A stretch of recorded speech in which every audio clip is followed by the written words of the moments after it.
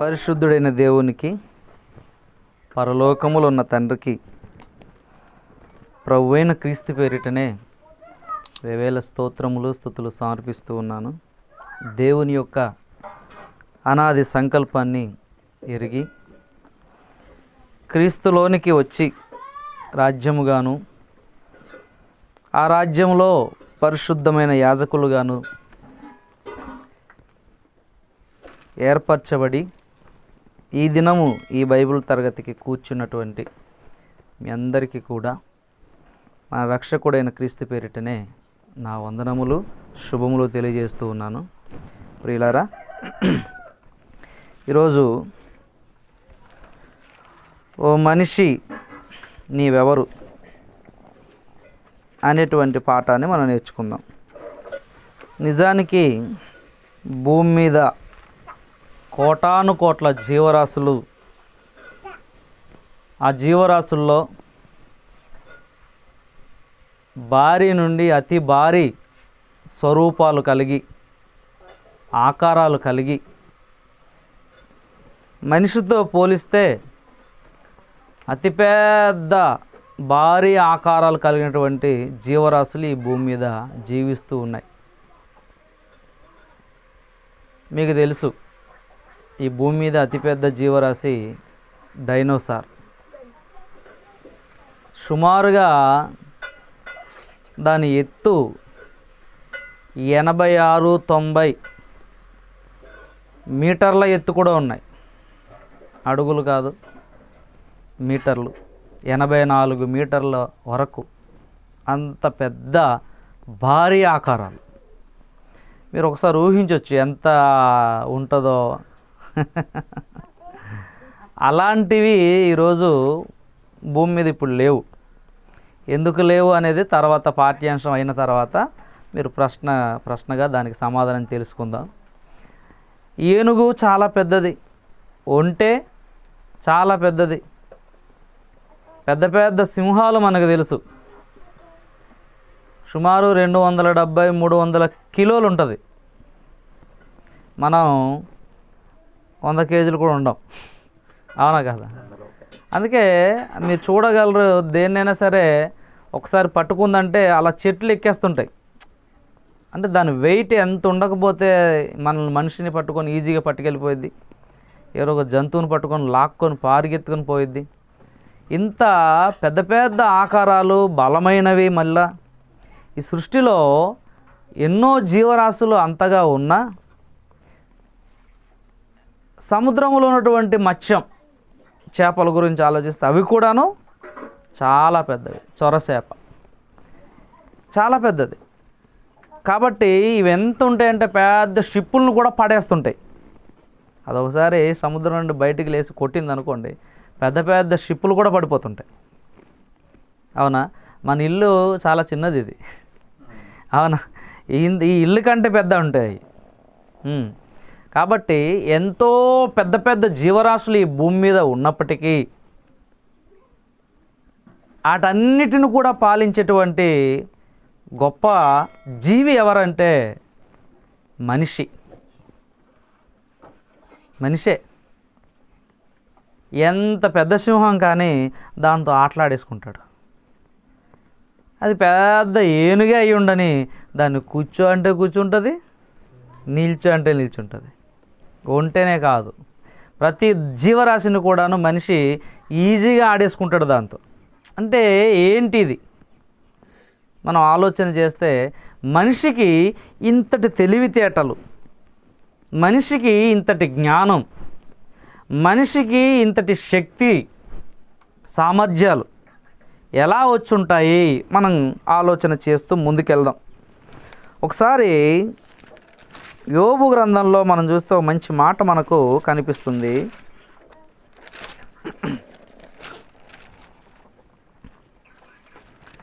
యోబు గ్రంథము ముప్పై ఐదవ అధ్యాయము. ముప్పై ఐదవ అధ్యాయము పదకొండు వచనం. భూ జంతువుల కంటే మనకు ఎక్కువ బుద్ధి నేర్పుచు. ఆకాశ పక్షుల కంటే మనకు ఎక్కువ జ్ఞానము కలుగజేయచ్చు. నన్ను సృజించిన దేవుడు ఎక్కడ ఉన్నాడని అలా అనుకునేవారు ఎవరునూ లేరు. చూసారా? మనం గమనించగలిగితే ఈ భూమి మీద ఉన్నటువంటి జంతువులన్నిటికంటే బుద్ధి ఈ భూమి మీద ఉన్నటువంటి పక్షుల కంటే జ్ఞానము ఎవరికి ఎక్కువ ఉందంట? పక్షులు కూడాను మీకు తెలుసు. గ్రద్ద అంటాం. లేదంటే దాన్ని పక్షుల్లో అదొక మురుగరాజు. అది ఎంత బలమైనదంటే ఒక మేక మనం ఎత్తుకెళ్ళడం కష్టం. అవునా కదా? ఒక మేకను మనం ఎత్తుకెళ్ళడం కష్టం. కానీ అది తన గోళ్ళతో పట్టుకొని ఎత్తుకుపోయిద్ది. ఒక ముప్పై యాభై కేజీలు ఉన్న మేకను కూడా ఎత్తుకుపోయిద్ది. అంటే అది అది ఎంతది? దానికి ఉన్న తెలివి ఎలాంటిదంటే అది ఎక్కడో ఆకాశంలో చిన్నగా కనిపిస్తూ తిరుగుతూ ఉంటుంది. అక్కడ నుండి భూమి మీద ఇంత కోడిపిల్ల ఉంటుంది. కోడిపిల్ల ఎంత ఉంటుంది? ఎంత ఉంటుంది. ఆ తల్లి ఎంత ఉంటుంది? దాని పిల్లలు ఎంత? అది ఆ పిల్లలు కూడాను దాని చుట్టూ రెక్కల కింద తిరుగుతూనే ఉంటాయి. కానీ అది అక్కడి నుంచి చూసి ఒకసారి పక్షిరాజు అమాంతంగా వచ్చి పిల్లని ఎత్తుకుపోయింది. దాని కన్ను దృష్టి ఎలా ఉందో చూడండి. ఎంత తెలివి. కాబట్టి ఇలాగా ఈ పక్షుల కంటే జ్ఞానము కానీ జంతువుల కంటే బుద్ధి కానీ వాటికంటే ఎక్కువ మనిషికి ఉందంట.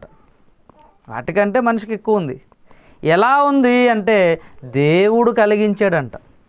అదే ఇక్కడ చెప్తున్న మాట అంటే భూ జంతువుల కంటే మనకు ఎక్కువ బుద్ధి నేర్పుచు ఆకాశ పక్షుల కంటే మనకు ఎక్కువ జ్ఞానము నేర్పుచు కలగజేయచ్చు నన్ను సృజించిన దేవుడు ఎక్కడున్నాడని అంటే ఎవరు కలగజేశారు? ఈ బుద్ధి జ్ఞానము మనిషికి ఎవరు కలగజేశారంటే దేవుడు అంట కాదు దేవుడే. దేవుడే కలగజేశాడు. ఎందుకు కలగజేశాడంటే దేవుడు ఎవరా తెలుసుకోవడానికి ఆయనకు ఆ జ్ఞానం ఇవ్వాలి మనిషికి. అంటే ఈరోజు మనిషికి ఉన్న జ్ఞానం ఎంత గొప్పదంటే కనిపించని దేవుడు ఉన్నాడా లేదా అనేటువంటి విషయాన్ని కూడా ఆలోచన చేయగలడు. అవునా కదా? దేవుడు కనిపించడు దేవలోకము కనిపించదు. అయినా దేవుడు ఉన్నాడని మనము నమ్మి విశ్వసించి బోధిస్తూ వాదించి ఒప్పించడానికి మనం సిద్ధపడుతున్నామంటే ఎవడరా దేవుడు లేడన్నాడు అంటాం మనం. అరే దేవుడు కనిపించడు కదా ఎలా ఒప్పిస్తా అంటే ఒప్పిస్తాం మనం. మనం ఒప్పిస్తాం. ఒప్పించేంత దేవుడు ఉన్నాడని నిరూపించేంత జ్ఞానము దేవుడు మనకు పెట్టాడు మన బుర్రలో.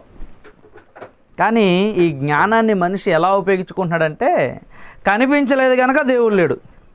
అలా ఉపయోగించుకుంటున్నాడు. అవునా కదా? కనిపించలేదు కనుక దేవుడు లేడు.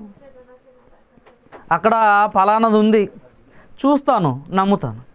అమెరికా కనిపించదు ఉంది. చూస్తాను మ్యాప్లో నమ్ముతాను. దేవుడు ఉంటే చూపించు అంటాడు. కాబట్టి అలాంటి వాళ్ళకు కూడాను మనము ఒప్పించగలిగేటువంటి శక్తిని దేవుడు మనకిచ్చాడు. అందుకే ఈరోజు శాస్త్రవేత్తలు సహితము బైబిల్కి సెల్యూట్ కొడుతున్నారు. ఎందుకంటే బైబిల్లో ఉన్న జ్ఞానము ఎక్కడ లేదు. ఈ మధ్య ఒక ఆయన మీరు చూస్తున్నారో లేదో కానీ యూట్యూబ్లో హిందూ సోదరుడు. ఏసుక్రీస్తు పుట్టనే లేదు ఏసుక్రీస్తు అంత కథ. ఎవడైనా నాతో డిబేట్కి వస్తారా? నేను ఒప్పిస్తాను నేను నిరూపిస్తాను అంటున్నాను అంతవరకు అవసరం. ఎవడైనా డిబేట్కి వెళ్ళాలా? మరి ఆలోచించాలి కదా మనం. యేసుక్రీస్తు ఇజ్రాయేల్ దేశంలో పుట్టాడు. బేతలేహం గ్రామంలో పుట్టాడు. నజరేతులో పెరిగాడు. మనకు తెలుసు కదా. గలీలో పరిచయం చేసాడు మనకు తెలుసు కదా. ఆయనకు డౌట్ ఉంటే ఆయన వెళ్ళి ఎంక్వైరీ చేసుకోవాలి. మనకెందుకు బాధ? అంతే కదా. నువ్వు నమ్మనప్పుడు నువ్వు వెళ్ళి ఎంక్వైరీ చేసుకో. నువ్వు ఎలాగో నమ్మనన్నప్పుడు నీ చేత నేను ఎలా ఒప్పించగలను? నువ్వు గుర్రం లాంటివి అంతే కదా? నీకు చెరువు దగ్గరికి కాలువ దగ్గరికి బలవంతంగా తీసుకెళ్తాను తప్ప నీ మెడపట్టి నీటిలో మూతి గుంజుతాను తప్ప నువ్వు తాగేవో లేదా నాకేంది నేను తాగనని మొర్రు అనుకుంటే గుర్రం చేత ఎక్కడ తాగిస్తాను చెప్పు. కాబట్టి నేను నమ్మను అని నువ్వు కూర్చొని ఆయన పుట్టలేదు ఆయన చరిత్రే కాదు అని నువ్వు అనుకుంటున్నా కనుక అది చరిత్ర కాదా తెలుసుకోవాలంటూ ఇజ్రాయెల్ దేశం నువ్వెళ్ళు హిస్టరీ ఉంది అక్కడ. అక్కడ హిస్టరీ ఉంది. అక్కడ పుస్తకాలు ఉన్నాయి. క్రీస్తు గురించి. ఒకప్పుడు డేవిడ్ సాల్మన్ అనే బుక్ ఉండేది మనకి లెసన్ ఉండేది. David Solomon. దావీదు దావీదు కుమారుడైన సొలోమోన్ రాజు. దావీదు ఎంత యుద్ధ పరాక్రమ కాలు చాలుడో ఆ విషయమును? సొలోమోన్ ఎంత జ్ఞానం ఆ విషయమును ప్రస్తావన జరిగింది ఆ బుక్లో. ఇంగ్లీష్లో ఉండేది. ఇంగ్లీష్ బుక్ ఉండేది అప్పుడు. ఇంగ్లీష్ లెసన్లో ఉండేది సెవెంత్ క్లాస్ ఉండేది. ఇప్పుడు అది ఇదే తీసారు ఎందుకంటే ఇండియాలో అవెందుకు అని. ఇండియాలో అవెందుకని అది హిస్టరీ కాకపోతే ఎవడు రాసి పెడతాడు బుక్లో? అది హిస్టరీ. కాబట్టి ఇలాగా ఆలోచన చేస్తే ప్రియులారా దేవుడు ఎలా ఉన్నాడో దేవుడు ఉన్నాడో లేదో ఆయన గురించి తెలుసుకోవడానికే మనిషికి ఇంత జ్ఞానం ఇచ్చాడంట. కానీ మనిషి ఈరోజు ఏం చేస్తున్నాడంటే ఆకాశం వైపు చూస్తున్నాడు అక్కడికి వెళ్ళడానికి ప్రయత్నం చేస్తున్నాడు. వెళ్ళిపోతున్నాడు. ఆకాశానికి వెళ్ళిపోతున్నాడు. ఆకాశం వెళ్ళిపోతున్నాడు ఏమంటారు అవి? చంద్రమండల గ్రహాల్లో దిగెత్తున్నాడు అక్కడ ఏముందో తెలుసుకుంటున్నాడు అక్కడ మనిషి ఎలా జీవించాలో అక్కడ మనిషి జీవించాలంటే ఎటువంటి వాతావరణం కలిగి ఉండాలో? Biosphere one biosphere two already రెండు కూడా ఫెయిల్యూర్ అయిపోయి. ఇప్పుడు మరలా బయోస్పియర్ త్రీ గురించి ప్రయత్నాలు చేస్తున్నారు. అందులో అంతరిక్షంలో ఎటువంటి వాతావరణం ఉంటుందో ఆ వాతావరణం సృష్టించి అందులోకి మనుషుల్ని పెట్టి వీళ్ళు బతికుండగలరా లేదా ప్రయోగాత్మకంగా చేస్తారు. అటు బతికాడు అనుకో ఆ వాతావరణం ఎక్కడది? అంతరిక్షంలో ఉన్నది.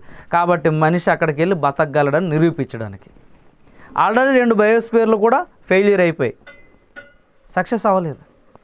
ఎందుకంటే దేవుడు ఏమన్నాడంటే నరుల నివాస యోగ్యమైన భూగోళము అన్నాడు. అంటే మనిషి నివాసం చేయాలంటే జీవించాలంటే జీవితాన్ని కొనసాగించాలంటే అది భూమి మీదే తప్ప మరొక గ్రహం మీద కాదని. భూమి ఒక గ్రహమే కాదనట్లేదు. అవునా కదా? భూమి కూడా ఒక గ్రహమే. కానీ ఆ గ్రహాలలో భూగ్రహంలోనే మనిషి జీవించడానికి దేవుడు వాతావరణం సృష్టించాడు. ఆ పాట మనకి ఆది కాండము మొదటి అధ్యాయం చెప్పుకుంటున్నప్పుడు సృష్టి దినాల గురించి మాట్లాడినప్పుడు అప్పుడు ఆ- ఎక్స్ప్లెనేషన్ మీకు చక్కగా బోర్డులో చక్కగా వేసి చూపిస్తాను.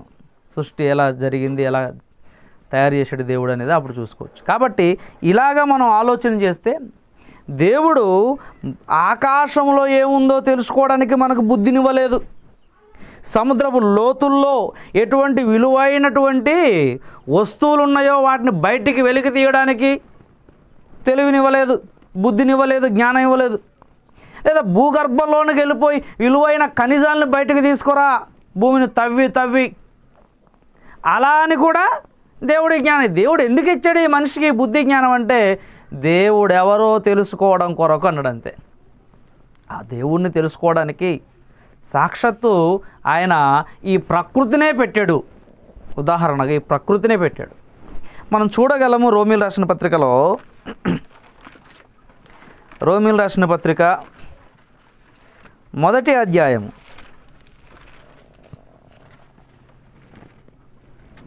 ఇరవై వచనం నుండి పంతొమ్మిది నుండి చదువుదామమ్మా. ఎందుకనగా? దేవుని గూర్చి. తెలియ శక్యమైనదేదో. అది మానవ జాతి మధ్య విషదం అంటే ఆల్రెడీ ఇప్పేసి ఉంది ఓపెన్గా ఉంది. దేవుడు. అది వాళ్ళకు విషదపరిచాడు మొత్తం. ఏంటి విషదపరిచాడంటే ఆయన అదృశ్య లక్షణములు.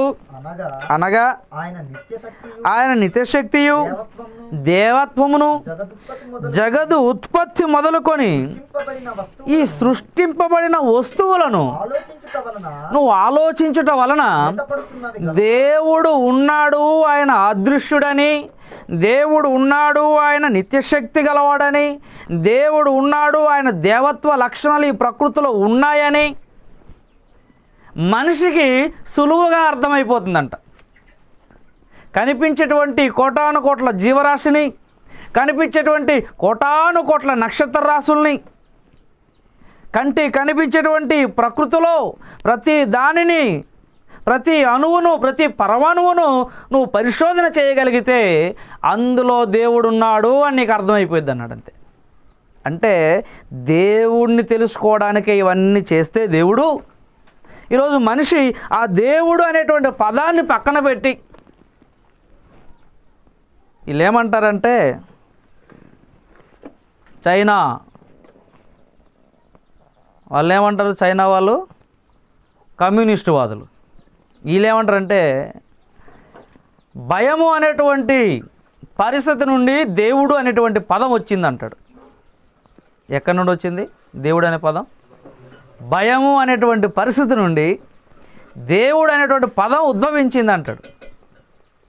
కమ్యూనిస్టు వాదులు. అంటే చీకట్టుగా ఉంది. నువ్వు వెళ్తున్నావు. అప్పుడు ఏం చేస్తావు నువ్వు? దేవుడా దేవుడా దేవుడా అనుకొని వెళ్ళిపోతాం ఇంటికి.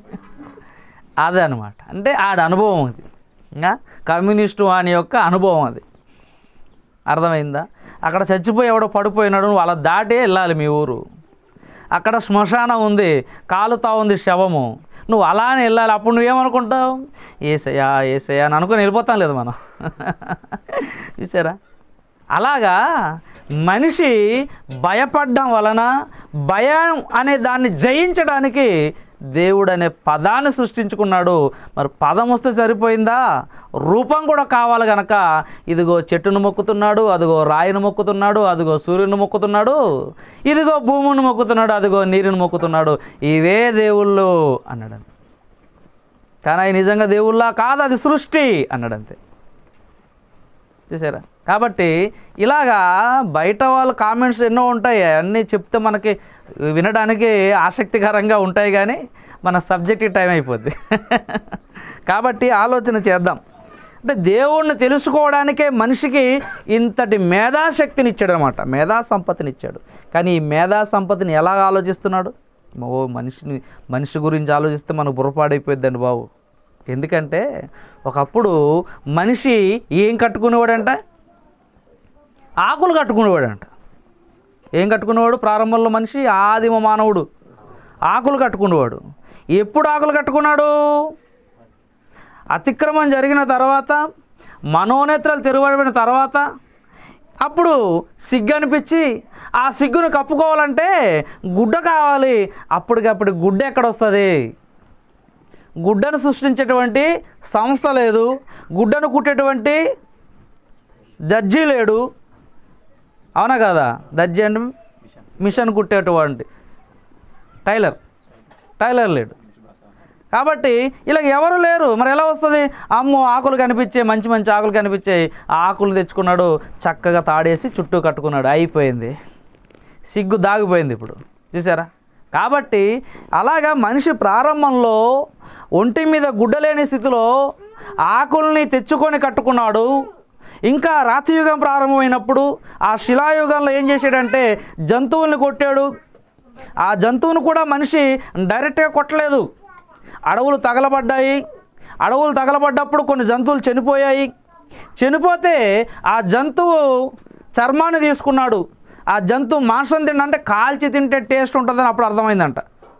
అంతవరకు ఎలాగా కర్రలు పట్టుకెళ్ళడం రాత్రి పట్టుకెళ్ళి వెనకాల వెళ్ళడం దొంగ దెబ్బ కొట్టి చంపేయడం. అవునా కదా. మన వాళ్ళు రాత్రులు ఏటాడతాం కదా. ముందర లైట్ వేస్తాం వెనకాల నుంచి కొట్టేస్తాం. కాబట్టి ఇలాగా కొట్టేసేవాడు దొంగ దెబ్బ కొట్టి తినేసేవాడు పచ్చిదే తినేవాడు. అందుకే వాళ్ళకి ఆజ్ఞ రక్తముతో మీరు దేనిని తినకూడదు జబ్బులు వస్తాయి. ఉడికించి తినండి కాల్చి తినండి అని చెప్తాడు. అవునా కదా? కాబట్టి ఇలా మనం ఆలోచన చేస్తే అలాగా జంతు చర్మాన్ని తీసాడు జంతు చర్మాన్ని చుట్టుకున్నాడు చర్మ వస్త్రాలు ఇలాగ మనిషి అభివృద్ధి ఈరోజు ఏంటంటే రేమాండ్ వరకు వెళ్ళిపోయాడు. పెద్ద పెద్ద ఖాదీ వస్త్రాల వరకు వెళ్ళిపోయాడు. అవునా కదా? పట్టు వస్త్రాలకు వెళ్ళిపోయాడు. ఎన్నో ఉన్నాయి. ధనవంతుడు ఏ సన్నటి నార వస్త్రాలకు వెళ్ళిపోయాడు. ఈరోజు మన నాయకులు వేస్తున్నటువంటి బట్టలు లక్షల రూపాయలు కోట్ల రూపాయలు. మన పిఎం గారు వేసుకునేవి ఎంత అనుకుంటాం కోట్ల రూపాయలు ఖరీదు లక్షల రూపాయలు ఖరీదు. తెలుసా? వీళ్ళ జాకెట్లు వేసుకుంటారు కదా. కాబట్టి అది మనకు బయ బయటికి చిన్న జాకెట్ అని ఉంటుంది. దాని లోపల సన్నని నార వస్త్రములు గోల్డ్తో కుట్టు జరుగుతుందన్నమాట. అది చాలా కాస్ట్లీ. అంటే మనిషి ఈరోజు ఏ లెవెల్కి ఎదిగిపోయాడు? ఆ రోజు తినడానికి పచ్చిదే తినేటువంటి మనిషి ఈరోజు ఉడికి ఉడకనట్టుగా ఒకవేళ స్త్రీ తొందరపాటు ఉండేసింది అనుకో నీ మొఖంలా ఉంది ఇది ఉడకనే లేదని మొఖం మీద కొట్టడం చూస్తాం మనం. అవునా కదా? అరే మన పూర్వీకులు అప్పుడు చెప్పాలి స్త్రీ మన పూర్వీకులు పచ్చిదే తినేవాళ్ళు రా బాబు ఇంకా మంచిదే పెట్టండి నీకని. మన పూర్వీకులు పచ్చిదే తినేవాళ్ళు. అడవులు తగలబడి ఆ జంతువు ఏదో చచ్చిపోయి కాలిపోయి ఉంటే అమ్మో ఏదో దొరికిందిరా అని పండగ చేసుకునే వాళ్ళు అప్పుడు పండగలు అలా ఉండేవి. ఇప్పుడు మనం కావాలనే తినడానికి పండగ చేస్తున్నాం. అలాగా తిని అలవాటు చేసుకుని ఈరోజు ఎలా వచ్చాడంటే ఫాస్ట్ ఫుడ్ అంటాడు అంతే. ఇలా వెళ్తాను ఖాళీ కూర్చొని ఉంటాడు. నాకు బిర్యానీ కావాలంటే అప్పుడే చేసి ఇచ్చేస్తాడు మనకి. లేదంటే అప్పటికే చేసిందేనే ఉంటుంది. అందులో కూడా రకాలు ఎన్ని చెప్తారా బాబు. అది కోడి మాంసమే కానీ నీకు చికెన్ కర్రీ కావాలా? చికెన్ ఫ్రై కావాలా? అవునా చికెను పీస్ కావాలా? తందూరి కావాలా? అంటాడనమాట తందూరి అంటే ఆ కోడే ఉంటుంది. దాన్ని మొత్తం అలా ఉడికించేసి కాల్చేస్తారు. ఆ కోడి నీకు అలా తెచ్చి పెడతారు ఇంత కోడి. అది మనం పట్టుకొని ఇలా తింటుంటే ఎలా ఉంటుందంటే ఈడు ఎక్కడి నుంచి వచ్చాడు రా బాబు అనుకుంటారు. కాబట్టి ఇలాగ అందులో ఎన్నో వెరైటీలు. ఈరోజు అంటే ఫుడ్ విషయంలో కూడా మనిషి చాలా ఇప్పుడు నీకు ఫుడ్ కావాలని ఒక చింతపిల్ల నీకు వండుకోవడం బద్దకం వేసింది. సిగ్నల్లో ఉన్నాం కదా ఆల్రెడీ ఆర్డర్ వేసేస్తావు. నాకు కావాలని. జమోటా. లేదంటే ఏమంటారు అవి? ఏ ఉన్నాయి కదా. బోల్డ్ స్విగ్గీ ఇలా బోల్డ్ పేర్లు ఉన్నాయి. కాబట్టి ఆర్డర్ వేసేస్తావు. వాడి ఇంటికి పార్సల్ పంపించేస్తాడు. ఒక అరగంటలో వచ్చేస్తుంది నీకు ఫుడ్ అంటే అంత ఆన్లైన్ సర్వీస్ అయిపోయింది. అంటే తినే విషయంలో కూడా డెవలప్ అయిపోయాడు మనిషి. కట్టుకునే విషయంలో డెవలప్ అయిపోయాడు మనిషి. ఇక మనిషి ఉండే విషయంలో అడవుల్లోనూ ఆ కొండ గుహల్లోనూ జీవించిన మనిషి ఈరోజు ఆకాశ హర్మ్యానాల్లో ఉన్నాడు ఈరోజు. నూట డెబ్భై అంతస్తులు అభిదుబి నూట డెబ్భై అంతస్తులు పైనే. అరే బాబోయ్ అదేంటి? అదేంటి అసలు అర్థమవుతుందా? ఇలా పడుకొని చూడాలి అయినా ఆకాశమే కనిపిస్తుంది మనకి. మళ్ళా ఎంత చిత్రం అంటే అవి సూర్యుడు ఎత్తు ఉదయిస్తే అటు తిరిగిపోయింది అది ఇల్లు. సూర్యకాంతి ఎటు వెళ్తే అటు టర్న్ అయిపోతుంట. సరే. నూట అరవై నూట డెబ్భై అంతస్తులు బిల్డింగ్ అంటే ఏం మాట్లాడాలి దాని గురించి? అంటే మనిషి ఎక్కడో గుహల్లో ఉన్నవాడు చెట్లు తొర్రల్లో ఉన్నవాడు రాళ్ళ గుహల్లో ఉన్నవాడు అవునా కాదా? ఏవో చేతికి దొరికిన నాలుగు కర్రలో నాలుగు మటలు తెచ్చుకొని ఏదో చిన్న నిర్మాణం చేసుకున్న మనిషి ఈరోజు ఎలాగయ్యాడంటే ఆకాశహారమే ఒక్క రాత్రిలోనే ఇల్లు కట్టేస్తారు. టెక్నాలజీ అలా ఉంది. నీ ఇల్లు పడగొట్టనవసరం లేదు. దానికంటే ఒక మిషన్ ఉంది. ఆ ఇల్లుని సైతం భూమి లోపల నుండి అలా దేవేసి పట్టుకెళ్ళిపోయి ఎక్కడ పెట్టాలి చెప్పి పెట్టేస్తుంది అక్కడ పట్టుకెళ్ళి. మళ్ళీ నువ్వు కట్టనవసరం లేదు ఇల్లు. సపోజ్ ఇది పడగొట్టాలి మళ్ళీ అక్కడ కట్టాలి టెన్షన్ అవసరం లేదు. ఎంత డెవలప్ అయింది. ఇంత బుద్ధి ఇంత జ్ఞానము దేనికోసం ఇచ్చాడు? ఒకరోజు పెద్దది ఉండేది. సినిమా థియేటర్లో రీల్. రీల్ అంటాం దాన్ని. ఇంతది ఉంటుంది ఒక రీలు. అవునా కదా? దాన్ని తిప్పాలి స్టార్ట్ చేయాలి అప్పుడు బొమ్మ వస్తుంది. టెటటా అనుకుంటూ. అప్పుడు వచ్చేది. ఇప్పుడు ఒక సినిమా పట్టేది అంత దగ్గర. ఇప్పుడు చిన్న చిప్పు. చిన్న చిప్పు. అంతే. ఆ చిప్పులో ఉంటుంది నువ్వు కొనుక్కోవాలి డబ్బుండి అంతే. ఎంత ప్రపంచంలో ఏమున్నాయో అన్నీ అందులో తోసేవచ్చు. లక్ష సినిమాలు తోసేవచ్చు. ఒక్క సినిమాకి ఇంత ఉండదు అప్పుడు. లక్ష సినిమాలు తోసేవచ్చు. ఏమి టెక్నాలజీ. ఎవరు చేశారు బాబు అంటే మనిషే. మనిషే చేశాడు. కాబట్టి ఇలా మనిషి గురించి మనిషి చేసిన గొప్పల గురించి మనిషి కడుతున్న వింతల గురించి మనిషి చేస్తున్న విడ్డీల గురించి మాట్లాడుకుంటూ పోతే ఎంతైనా ఉంటుంది. అవునా కదా? మామూలుగా ఉందా మానవ సృష్టి? దేవుడు తర్వాత దేవుడు అన్నాడు అంతే అంతే కదా? మనిషి ఎలా తయారంటే దేవుడు తర్వాత దేవుడు అంతే డాక్టర్ గారు మీరే మా దేవుడు అది నేను చెప్పేది.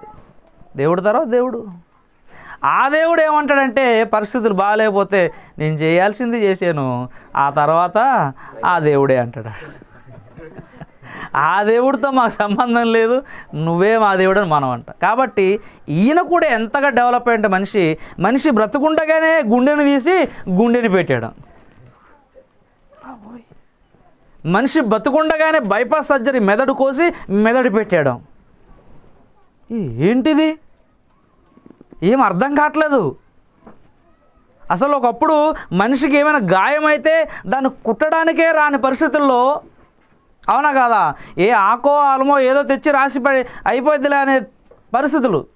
ఇప్పుడు పొట్టను కోసి బిడ్డను తీసేస్తున్నారు బయటికి. అంత బిడ్డని బయటికి తీసేస్తున్నారు పొట్ట నుంచి బయటికి కోసేసి. గుండెనే కోసిపోయి మార్చేస్తున్నారు. ఏదైనా సరే అంటే ఎంత డెవలప్మెంట్ అయ్యేదంటే మనిషి మామూలుగా కాదండి. ఇకపోతే మనిషి దేవుడు తన కోసం తన పని నిమిత్తం మనిషిని సృష్టించుకుంటే మనిషి తన పని నిమిత్తం మరొక మనిషిని సృష్టించుకున్నాడు. దాని ముందు ఒక పేరు పెట్టాడు మరా అన్నాడు అంతే మర మనిషి అన్నాడు కదా. ఈ మర మనిషి ఎలాగా? నువ్వు ఏమైనా ఆర్డర్ చేసావనుకో టాన్ టాన్ టాన్ తీసుకొచ్చేస్తుంది నీ ముందుకు అది బాస్ అంటది. వచ్చేసి నీ ముందుకు ఏమంటుంది? ఎస్ బాస్ అంటుంది రోబో చిట్టి అనగానే టప్ టప్ టప్ ముందుకు వచ్చి ఎస్ బాస్ అంటుంది. ఏం చెప్తాం? టీ అనగానే ఎస్ బాస్ అంటుంది. వెళ్ళి టీ తెచ్చి ఇచ్చేస్తుంది ఈ మధ్య మొన్న ఒకటి తయారు ఇప్పటి నుంచో ఉంది కానీ మన లోకల్ పర్సన్ ఒక అబ్బాయి తయారు చేసాడు రోబోని. వాడికి వాడు తినట్లేదు. ఉదయాన్న పడుకున్నాడు. పడుకుంటే వెళ్ళి కొడుతుంది. టైం అయ్యింది. అలారం చూసింది. కొడుతుంది అంతే. అలారం మోగింది. వెళ్ళి ఇలా కొడుతుంది. లేచాడు. లేచాడు. లేస్తే బ్రష్ తెచ్చింది. తెచ్చేసి ఇలా ఇలా తోమేస్తుంది. ఆడికే. అదే తోమేస్తుంది. అదే తోమేస్తుంది. బ్రష్ అయిపోయింది. వాటర్ ఏమో ఉంటుంది కదా? ఆ, షీ అని కొట్టేసింది. కొట్టేసి కచ్చిపు టవల్ తీసుకొచ్చి ఆ మొక్క మీద ఇలా ఇలా తుడిచింది. అయిపోయింది. తర్వాతము టీ తీసుకొచ్చింది ముందుకి. పెట్టి ఇలా పెట్టిండారు తాగడం. అది ఆపేస్తే తీసేయడం. ఆ అంటే పెట్టడం. ఏం బాధరా బాబు? ఆడు పడుకొనే ఉన్నాడు అక్కడే కూర్చున్నాడు అక్కడే ఉన్నాడు ఏమీ లేదు. అన్నీ అదే చేస్తుంది. అందుకే ఇంగ్లీష్ దేశాల్లో ఏంటంటే అసలు భార్యతో కూడా భార్య అంటే వాళ్ళకి ఏంటంటే ఏదో ఆ ఎంజాయ్మెంట్ వేరేగా ఉంటుంది కానీ అవసరాల కోసము రోబోలను వాడుకుంటున్నారు. అందుకే ఇంగ్లీష్ దేశంలో రోబోస్ ఎలా ఉంటుందంటే అధునాత అధునాతనమైన టెక్నాలజీ అది. అటు ఆ టెక్నాలజీ అసలు రోబోవా మనిషా? మనకు అర్థం కానట్టుగా తయారు చేశారండి బాబు. మనిషి అనుకుంటాం మనం. మనిషే అనుకుంటాం. చూసారా ఆ రోబోకి ఈడు ముద్దు పెడితే ఆ రోబో ఈడికి ముద్దు పెడితే ఈ మనిషి ఏమో అనుకుంటా కానీ అది రోబో. కాబట్టి మనిషి దేవుడు తన గురించి తెలుసుకోవాలని ఇన్ని తెలివితేటలు ఇచ్చి తన పని చేయడానికి మనిషిని సృష్టిస్తే మనిషి ఎలా తయారాడంటే మనిషి కూడా మరో మనిషిని సృష్టించేంత గొప్పవాడుగా మారిపోయాడు మనిషి. కాబట్టి ఇన్ని తెలివితేటలు ఇంత బుద్ధి ఇంత జ్ఞానము దేనికి ఇచ్చాడు దేవుడు అంటే ఆయన అంటున్నాడు కదా తను సృజించిన దేవుడు ఎక్కడున్నాడో తెలుసుకోవడానికి ఇచ్చాడు మనిషికి. ఇంతకీ ఇన్ని తెలివితేటలు ఉన్నాయి ఇన్ని బుద్ధులు ఉన్నాయి ఇంత ఉంది కదా. ఇప్పుడు ఎవరైనా ఒక అబ్బాయి బాగా చదువుకున్నాడు అనుకో మంచి ర్యాంక్ వచ్చింది అనుకో ఎవరు అబ్బాయిరా నువ్వు అని అడుగుతాం కదా మనం. ఎవరు అబ్బాయి అని అడుగుతామా? అడుగుతాం అడుగుతాం. అంటే ఏదైనా ఒక గొప్ప కార్యం చేస్తే దానికే ఇతను ఎవరు? ఎవరి తాలూకా? అని అడుగుతాం కదా. యేసుక్రీస్తు ప్రభు కూడా గొప్ప కార్యాలు చేశాడు. సూచక్రియలు చేశాడు మహత్కార్యాలు చేశాడు అద్భుతాలు చేశాడు ఆశ్చర్యక్రియలు చేశాడు. ఇవన్నీ చేసేసరికి వాళ్ళు బుర్ర పని చేయలేదు. శాస్త్రులు పరిచయాలు కానీ ఆ రోజు ఉన్నటువంటి సమాజానికి బుర్ర పని చేయక ఈయన ఎవరు అన్నారు. అవునా కదా? సముద్రం అంతా ఉప్పొంగిపోతుంది వెంటనే బొద కూడా నీకు చింత లేదా? మేము చచ్చిపోతున్నామే అన్నారు. ఏమన్నాడు అప్పుడు? ఏమీ లేదు లేచాడు. గద్దించాడంట గాలిని గద్దించాడంట. ఆ గాలి నిమ్మలం అయిపోయింది సముద్రం ప్రశాంతం అయిపోయింది అప్పుడు అంటారు కదా ఈయన ఎవరు? అంటే ఒక అద్భుతం సృష్టిస్తే ఈయన ఎవరో అని ఆరాధిస్తున్నాం చూడండి. మరి ఇన్ని అద్భుతాలు చేసిన మనిషి ఎవరో అనే ఆలోచన రాదా మనిషికి? రావాలా వద్దా మనిషికి? బట్టలు లేదు ఈరోజు ఎంత? ఏ రేంజ్కి ఎదిగాడు? ఎలాంటి బట్టలు కడుతున్నాడు? ఆకులకి ఏముందండి లెక్క? కానీ ఈరోజు మనిషి చేసే బట్టకి ఎంత ఇలువ ఉంది? బట్ట వేసుకునే బట్ట బట్టే మనకు సమాజంలో వాల్యూ ఇస్తున్నారు. అవునా కదా? నువ్వు ఎంత గొప్పవాడైనా మామూలుగా ఉన్నామనుకో ఎవరు పట్టించుకోరు. ఏ మనోడే అనుకుంటారు అదే కొంచెం కాస్ట్లీగా ఏమైనా లుక్ ఇచ్చుకున్నాం అనుకో ఎవరైనా అంటారు. చూసారా? కాబట్టి అంటే ఎంత గొప్పగా బట్ట మారితేనే గొప్ప అంటున్నాం తిండి మారిస్తే ఇవి ఇన్ని అద్భుతాలు సృష్టించాడు కదా. మనిషి మరొక మనిషిని పుట్టించుకున్నాడు కదా. ఇంత జ్ఞానము ఇంత మేధాశక్తి ఉన్నప్పుడు ఈ మనిషి ఎవరు? అనేటువంటి ఆలోచన మనిషికి రావాలొద్దా? కానీ రావట్లేదు. ఎందుకు రావట్లేదంటే ఎంజాయ్మెంట్. రోబో చేసాడు రోబో చేసింది మనిషి అంటే మనిషి అనుకుంటున్నాడు అంతే. కానీ ఈ మనిషి ఎవరై ఉండాలి? ఇంత జ్ఞానం ఏంటిది? అసలు మనిషి అంటే ఏంటో మనిషికి తెలియని స్థితిలో ఈరోజు మనుషులు ఉన్నారు అంతే కదా? ఒక వస్తువు ఉంది ఇది ఫోన్ ఉంది ఈ ఫోన్ ఉంది.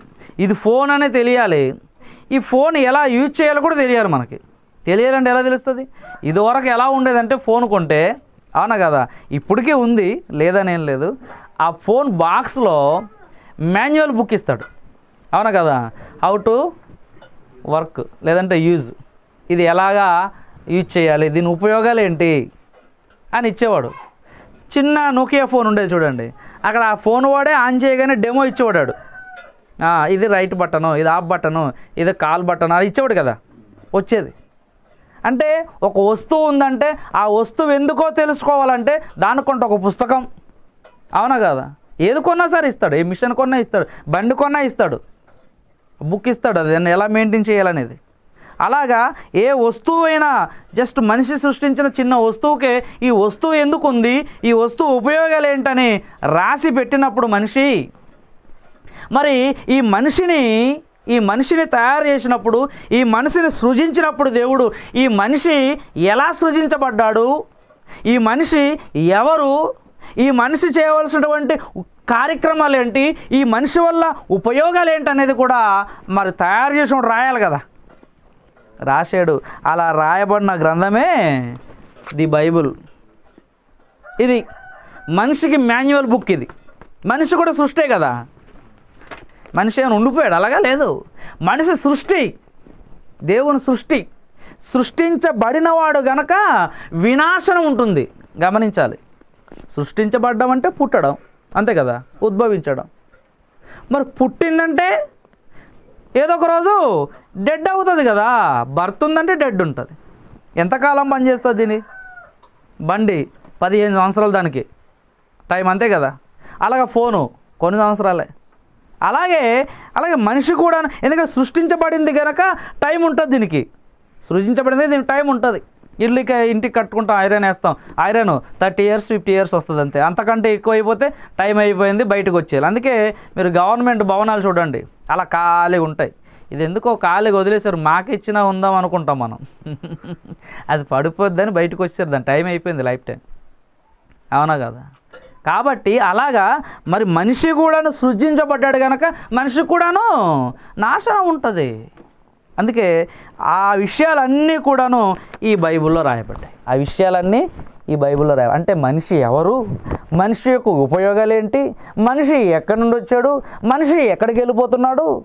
అవునా కదా? అందుకే ఓవరాల్గా వీటన్నిటిని దృష్టిలో పెట్టుకొని మనం పెట్టినటువంటి టైటిల్ ఏంటంటే ఓ మనిషి నీవెవరు? అంటే ఇవన్నీ చెప్పలేదు అనుకో ఏమంటే మనిషి ఎంత తెలివైనడో తెలిస్తే కదా మనకు అర్థమవుతుంది. అమ్మో అని కాబట్టి అందుకే ఓ మనిషి నీవెవరని మనం ఆలోచన చేస్తే దేవుడు అంటున్నాడు. ఒక మాట చదువుదాం. సామెతల గ్రంథంలో పదహారు అధ్యాయము.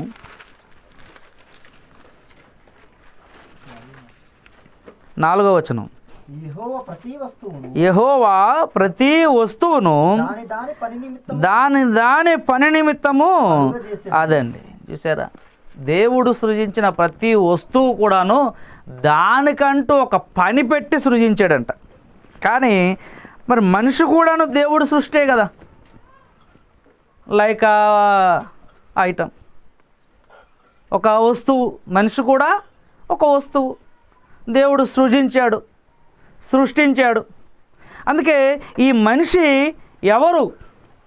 మనం ఆలోచన చేస్తూ ముందుకెళ్దాం. ఓ మనిషి నీవెవరు అంటున్నాం కదా. మనిషి ఎవరు అని మనం ఆలోచన చేస్తే అసలు ఈ మనిషి గురించి కొన్ని మంచి మాటలు మనం చూద్దాం ఒకసారి.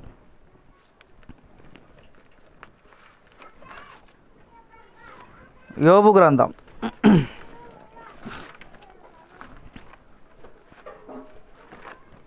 మీకు తెలిసినవే కానీ మన ఎగ్జామ్ రాసుకోవాలి కనుక ఖచ్చితంగా నేర్చుకోవాలి. రాసుకోవాలి. పది అధ్యాయము యోగ గ్రంథం పదవ అధ్యాయము ఎనిమిదవ వచనం నుండి చూస్తున్నాం. నీ హస్తములు నాకు అవయవ నిర్మాణం చేసి నాకు అవయవ నిర్మాణము చేసి నన్ను రూపించి నన్ను రూపించి ఉన్నను. నీవు నన్ను మృంగివేయి మిరింగివేయుచున్నావు జిగటమన్నుగానున్న నన్ను. జిగటమన్నుగా ఉన్న నన్ను నీవు నిర్మించి నీవు నిర్మించితివి. ఆ సంగతి జ్ఞాపకం చేసుకొనుము. నీవు నన్ను మరలా మన్నుగా చేదువా ఒకడు పాలు పోసినట్లు. నీవు నీవు నన్ను పోసితివి కదా? జున్నుగడ్డ ఒకడు పారబెట్టి ఒకడు పేరబెట్టినట్లు. నీవు నన్ను పేరబెట్టితివి కదా? చర్మముతోను మాంసముతోను నీవు నన్ను కప్పితివి. ఎముకలతోను నరములతోను నన్ను సంధించి నన్ను సంధించితివి. జీవం అనుగ్రహించి నా ఎడల కృప చూపితివి.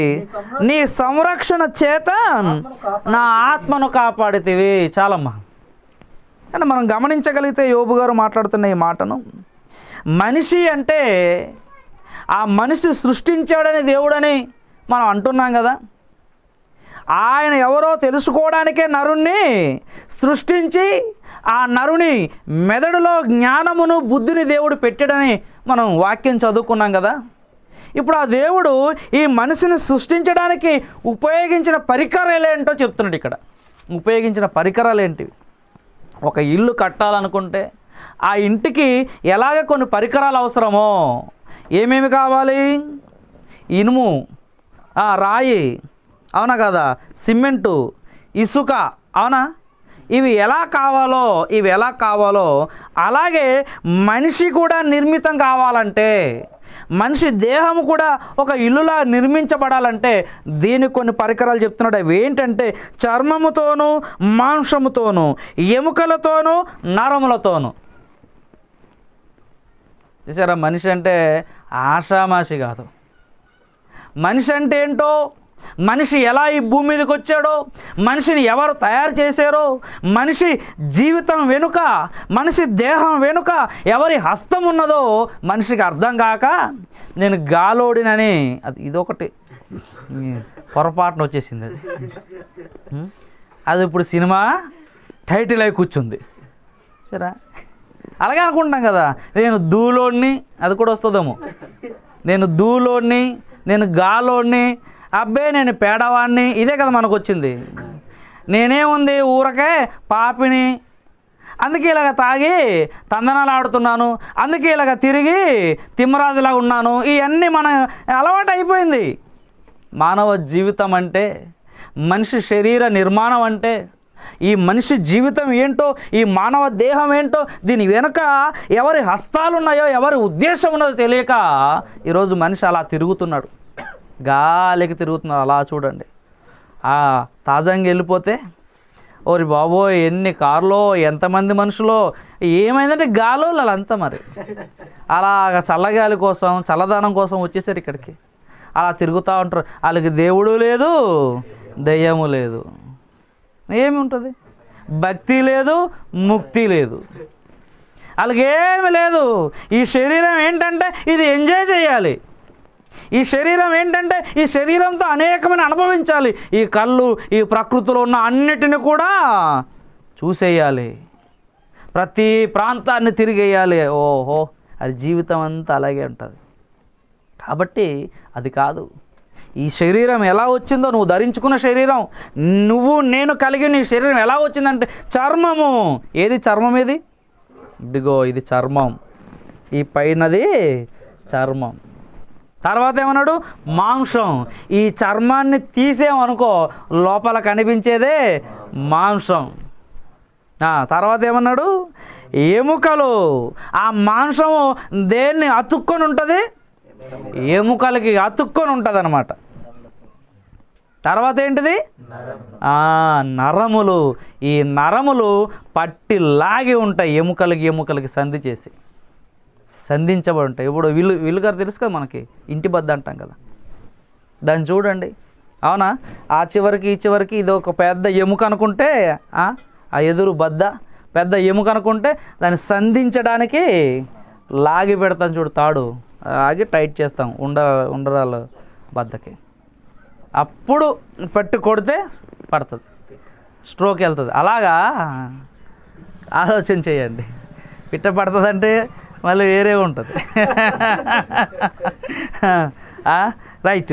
ఇక్కడ ఆలోచన చేస్తే ఎముకలు ఉన్నాయి ఆ ఎముకలకి నరములను కలిపాడు. సంధించాడు నరాలు నరాలకి సంధించి ఇప్పుడు ఇది ఇది ఇది ఎముకైనా? ఇది ఎముకైనా? ఇది ఎముకే. ఈ ఎముకే కానీ ఇది ఇలాగా ఇలాగా ఇలాగ అవ్వాలంటే మళ్ళీ ఇలా ఇలా అవ్వాలంటే ఇది దేనికి ఏముండాలి? నరం ఉండాలి. నరం ఉండాలి. ఆ నరం లేకపోతే అది రాదు. ఆ ఫ్లెక్సిబిలిటీ రాదు. ఉట్టి ఎముకుంటే మనం ఏం చేసుకుంటామండి దీన్ని? ఆ, పట్టుకుందామంటే తినగే ఉంటుంది ఇలాగా. ఒకవేళ ఇక్కడికి అవునా కదా ఇక్కడికి రెండెముకల్లాగా విభజించిన ఇలా పడుతుంది ఇలా లేస్తుంది తప్ప గ్రిప్ రాదు. ఈ గ్రిప్ రాదు. గ్రిప్ రాదు. పట్టుకోదు ఇలాగా. అంటే పట్టుకోవాలి గట్టిగా అంటే ఏముండాలి? నరములు ఉండాలి దానికి బలం కావాలంటే ఆ ఎముక మీద మాంసం కావాలి. అందుకే ఏమంటాడు గురజాడ? తిండి గలవాడే కండగలవాడు అంటాడు అనమాట గురజాడ అప్పారావు తిండి గలవాడే కండగలవాడు అంటే ఫుల్గా తినండి తిన్ తిన్నవాడు ఎలా ఉంటాడు? బాగా తిన్నవాడు ఎలా ఉంటాడు? నేను ముక్క ముక్కలు ముక్క ముక్కలు కనిపిస్తాడు మనిషి. అంటే కండ కండలు మాంసంతో కండ కండలుగా పెరిగిపోతాడు. కాబట్టి ఎలా అలా ఆలోచన చేస్తే ఎలా ఉంది చూడండి. ఊరిక ఎముకలు ఆ ఎముకల మీద ఈ నరాలు ఇది నరము రక్త ప్రసరణ కోసం. ఈ సెట్టింగ్ అంతా రక్త ప్రసరణ కోసం. ఎముక ఈ శరీర ఆకారం నిలబడడానికి అనమాట ఇది ఫిల్లర్. ఎముక ఒక ఫిల్లర్. ఇలా నిలబడాలి. ఇలా నిలబడాలంటే ఎముకలు ఉండాలి. ఆ ఎముకలు దేవుడు అలా సృష్టించాడు. తర్వాత దానికి మాంసం పెట్టాడు. మాంసం. ఆ మాంసం లేకపోతే అసలు అందమే రాదు. ఉట్టి ఎముకలే ఉన్నాయి అనుకోండి. ఇక్కడ నాకు నిల్చోబెడితే ఎలా ఉంటుంది? లోపలికి బుగ్గలు పోయి కళ్ళు కూడా లోపల పోయి ఏ ఉండదు ఇంకా. ఈ పైన తోలు తీసేనంటే అది లేదనుకోండి తోలు. మీరు ఇక్కడ కూర్చోలేరు. అమ్మ బాబోయ్ అని పరుగో పరుగు ఇంకా. అవును కదా తోలు లేకుండా ఇలా నిలబడ్డాను అనుకో నేను. అది ఉంటుంది చూడు బొమ్మ స్కిల్టన్ బొమ్మ ఉంటుంది కదా మనకి. అదే. మనం ఇది చెప్దామంటే మనం తీసుకొచ్చిన బాగుంది కొనుక్కొని. కాబట్టి అది చూస్తే మనకు అర్థమవుతుంది. గూగుల్ ఉంటే మనకి సిగ్నల్ ఉండదు కానీ సరిగా. లేదా ఇప్పటికిప్పుడు వచ్చింది. ఇలాగా చేసి మాంసం పెట్టి మాంసం మీద ఏం చేశాడు? అంతే కదా. పిల్లర్ చేసాము చక్కగా గోడలు కట్టాము మొత్తం కూరేసాము. అవునా? నీట్గా చేసేసాం. అయిపోయింది. నిలబడిపోయింది కదా అని ఊరుకుంటాం ఏంటి? "ఆ, ప్లాస్టింగ్ చేద్దాము అంటాం. ప్లాస్టింగ్ చేసి అయిపోయింది అంటే ఏంటి? నచ్చిన రంగు వేసుకుంటావు దాని మీద. నచ్చిన రంగు. అవునా కదా? కాబట్టి అలాగా మొత్తం నిలబడిపోయింది. ఎముకలు నరములు మాంసం పెట్టాడు. ఒక లుక్ వచ్చేసింది. మరి దానికి ప్లాస్టింగ్ చేయకపోతే ఎలాగా? అందుకే వెంటనే స్కిన్ అదే చర్మం చర్మాన్ని తొడిగాడు అనమాట చర్మాన్ని తొడిగితే ఇప్పుడు లోపల ఆత్మ జీవిస్తుంది. లేదనుకో ఆత్మ బయటికి వెళ్ళిపోవాల్సిందే. కాబట్టి ఇప్పుడు చర్మను తొడిగాడు. ఈ తొడుక్కు కూడాను రంగులు వేసాడు చూసారా? మన వాలంటీర్ గారు చూడండి నల్లగా ఉన్నారు. నేను తెల్లగా ఉన్నాను. అవునా కదా? ఇంకొక అబ్బాయి ఎలా ఉన్నారు? మనోడేమో ఇంకొంచెం ఎర్రగా ఉన్నాడు. మనోడు వచ్చేసి యూదులు ఎలా ఉంటారో అలా ఉన్నాడు మనోడు. అంటే ఆ రంగు గోధుమ రంగు యూదులది. బ్రాహ్మణులు ఉంటారు కదా ఆ రంగు. చూడు మన పిల్లలు తెల్లగా పుడితే వేరే ఉంటుంది. బ్రాహ్మణ పిల్లల రంగు వేరు. ముస్లిమ్స్ చూసారా? వాళ్ళ రంగు ఎలా ఉంటుందో? అక్కడి నుంచి వచ్చారు కదా వాళ్ళు ఇజ్రాయెల్స్ అంటే ఇస్మాయిల్. ఆ సంతానం కదా అక్కడ వాళ్ళు కదా. వాళ్ళ స్కిన్ రంగు వేరుగా ఉంటుంది. తెలుపు అన్నా వాళ్ళది గోధుమ రంగు వస్తుంది వర్ణం. కాబట్టి ఇలాగా ఇన్ని రంగులు పెట్టేసరికి మనం రంగుని చూసి కూడా ఇష్టపడుతున్నాం. అబ్బాయి ఈ ఇల్లు చూడండి ఈ రంగు చాలా బాగుంది అంటాం. అది. కాబట్టి ఇలాగా ఈ శరీరాన్ని నిర్మించాడు దేవుడు. ఎందుకు?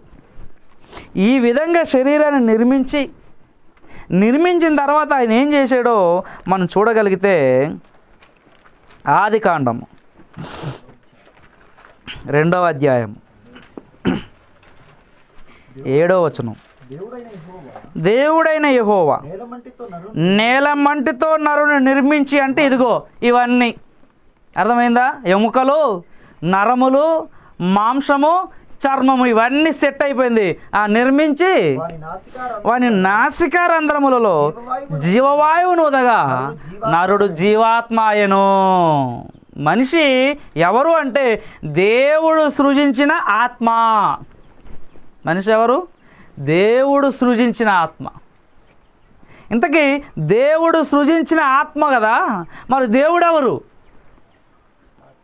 దేవుడెవరు? యోహాను సువార్త నాలుగవ అధ్యాయము ఇరవై రెండు నుంచి చదువుదాం. ఇరవై మూడు ఇరవై నాలుగులో ఉంటుంది.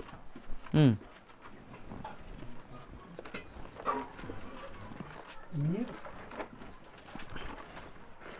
నాలుగు ఇరవై రెండు నుంచి. మీరు మీకు తెలియని దాన్ని ఆరాధించువారు. మేము మాకు తెలిసిన దానిని ఆరాధించువారము. కలుగుతున్నది కలుగుచున్నది. అయితే ఆరాధించువారు. యథార్థంగా ఆరాధించేవారు సుమా. ఈరోజు ఆరాధనలన్నీ కూడాను ముసుగులో గుద్దులాట్ల ఆరాధనలే మనయన్నీ. యథార్థమైనటువంటి భక్తి యథార్థమైనటువంటి మనస్తత్వం మనం లేకుండా పోయింది. మనం కనిపించామనుకోండి పై పైకి వందనాలు బ్రదర్ అంటాం. అంతే కదా? వందనాలు బ్రదర్ అంటాం. షేక్ హ్యాండ్ కూడా వందనాలు బ్రదర్ అంటాం. బాగున్నారా అంటాం. ఉట్టిదే అదంతా. అంతే కదా? అంతా బయటికే లోపల యథార్థత ఏది? దేవుడు అడుగుతున్నాడు యథార్థత అని. ఆయన ఆరాధించేవారు కూడా యథార్థవంతులే కావాలంటున్నాడు. మనం ప్రతిరోజు ఆలేలుయా ఆరాధన చేస్తుంటాం చూడండి ఇలా ఇలా ఊగి అటు ఇటు ఇలా ఇలా చేయండి ఇలా చేయండి అంటారు. మేము అప్పుడు చేసేవాళ్ళం చర్చిలో. ఇలాగా ఇలాగా ఆరాధన ఆరాధన అని చేసేవాళ్ళం. ఎంత చేసినా సరే యథార్థత ఉండాలా వద్దా? దేవుణ్ణి ఆరాధించేవారు యథార్థవంతులై ఉండాలి అని చెబుతూ ఆత్మతోను సత్యముతోనూ తండ్రిని ఆరాధి తండ్రిని ఆరాధించు. కాలం వచ్చి కాలం వచ్చుచున్నది అది ఇప్పుడును వచ్చే ఉన్నది. తన్ను ఆరాధించేవారు. అట్టివారే కావాలని. తండ్రి కోరుచున్నాడు. దేవుడు ఆత్మ గనుక. ఆయన ఆరాధించేవారు. అదండి. చూసారు? ఆత్మతో సత్యంతో ఆరాధించాలి. ఎవరంట దేవుడు? ఆత్మ. దేవుడు ఆత్మ. దేవుడే ఆత్మ. మరి ఆత్మకు పుట్టుకుంటుందా? ఆ ఆత్మకు చావు ఉంటుందా?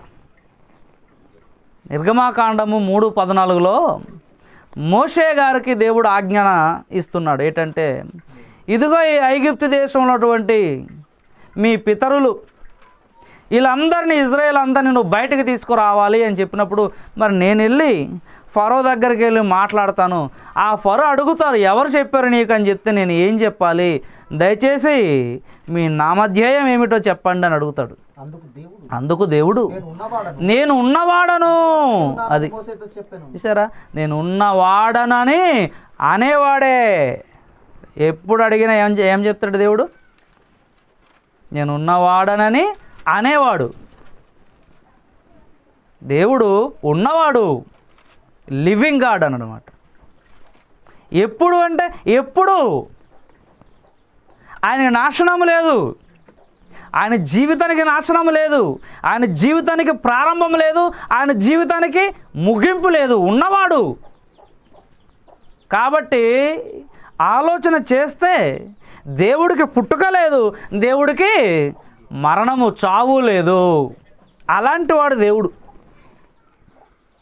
అలాంటి దేవుడు ఒక మనిషిని సృష్టించుకున్నాడు. ఆ మనిషి యొక్క శరీరాన్ని నిర్మించాడు. మీకు తెలుసు నూట ముప్పై తొమ్మిది కీర్తన పదహైదు పదహారులో ఉంటుంది. అగాధములో నుండి సృజించాడు అంటాడు. ఎక్కడ మట్టి అది? ఇలా బయట కనిపించే మట్టి కాదు ఇది. ఈ బయట కనిపించే మట్టి మనం ఇంటికే వాడుకోం. అవునా కదా? ఈ పైపొర మొత్తం తవ్వేసి కొంచెం లోపలికి వెళ్ళి ఆ మట్టి తెచ్చుకుంటాం. ఆ మట్టిని కొన్ని రోజులు నానబెడతాం. అవునా? తర్వాత దాన్ని గట్టిగా త్రొక్కుతాం నీళ్ళేసి తర్వాత దాన్ని గోడలు కట్టుకోవడం ఉపయోగిస్తాం. అప్పుడు గోడ స్ట్రాంగ్ అవుతుంది ఆ రోజే మట్టి తెచ్చి ఆ రోజే తడిపేసి ఆ రోజే గోడ వేసేవనుకో ఉండదు. ఉండదు. ఇలాగైతే లేట్ అవుతుంది. సిమెంట్ అనుకో అప్పుడు కలిపి అప్పుడు వేయాలి. దానికి తర్వాత వేస్తానంటే అది ఉండదు. కానీ మనిషి ఫస్ట్ ఇంకా త్వరగా అయిపోవాలనుకున్నాడు అలాగా. రైట్ పక్కన పెడితే. ఇలాగ దేవుడు అగాధములో ఉన్నటువంటి మట్టిని తీసుకొచ్చాడు. అగాధం అంటే ఈ లోపలికి వెళ్ళే కొద్ది టెంపరేచర్ పెరిగిపోయింది. భూమి లోపలికి వెళ్ళేసరికి వేడి పెరిగిపోయింది. వేడి విపరీతమైన వేడి ఉంటుంది. అలాగా అగాధములో ఎలా ఉంటుందంటే ఈ మట్టి అగ్ని అగ్గి మంటలు వచ్చి ఎలా అవుతుంటుందో అలా కుత్త కుత్త కుత్త ఉడుకుతూ ఉంటుంది మట్టి లోపల. స్టీల్ ప్లాంట్కి వెళ్ళి మనం చూస్తే మనకు అర్థమవుతుంది. ఈ మట్టే అది. కానీ అది ఒక రకమైన మట్టి. కొంచెం కొన్ని కొన్ని ప్రాంతాల్లో దొరుకుతుంది ఆ మట్టి. ఆ మట్టిని తీసుకెళ్ళి అక్కడ మిషన్లో వేస్తారు. అదే కరిగి మంటకి కరిగి ఇనుములాగా షేపుల్లోకి వెళ్ళిపోయి షేపులు వచ్చేస్తుంటాయి. గట్టిగా తయారైపోయింది మట్టి. ఐరన్ ఐరన్ అంట. కాబట్టి అలాగా లోపల నుండి తీసింది ఈ శరీరానికి మట్టి. అలా తీసి ఇలా నిర్మించి ఈ నాసిక రంధ్రంలోనికి జీవవాయువును ఉదేడు మనిషి జీవాత్మ అయ్యాడు అందుకే మనిషి అంటే రెండు గుర్తుంచుకోవాలి ఇక్కడ మనం. మనిషి అంటే ఒక్కడుగా ఒకటి కాదు మనిషి అంటే రెండు. ఒకటి మట్టి నుండి చేయబడిన శరీరము రెండు పైనుండి వచ్చిన ఆత్మ. మనిషి అంటే ఏంటి? రెండి రెండు. ఒకటి మట్టి నుండి తీయబడిన శరీరము మట్టి శరీరము.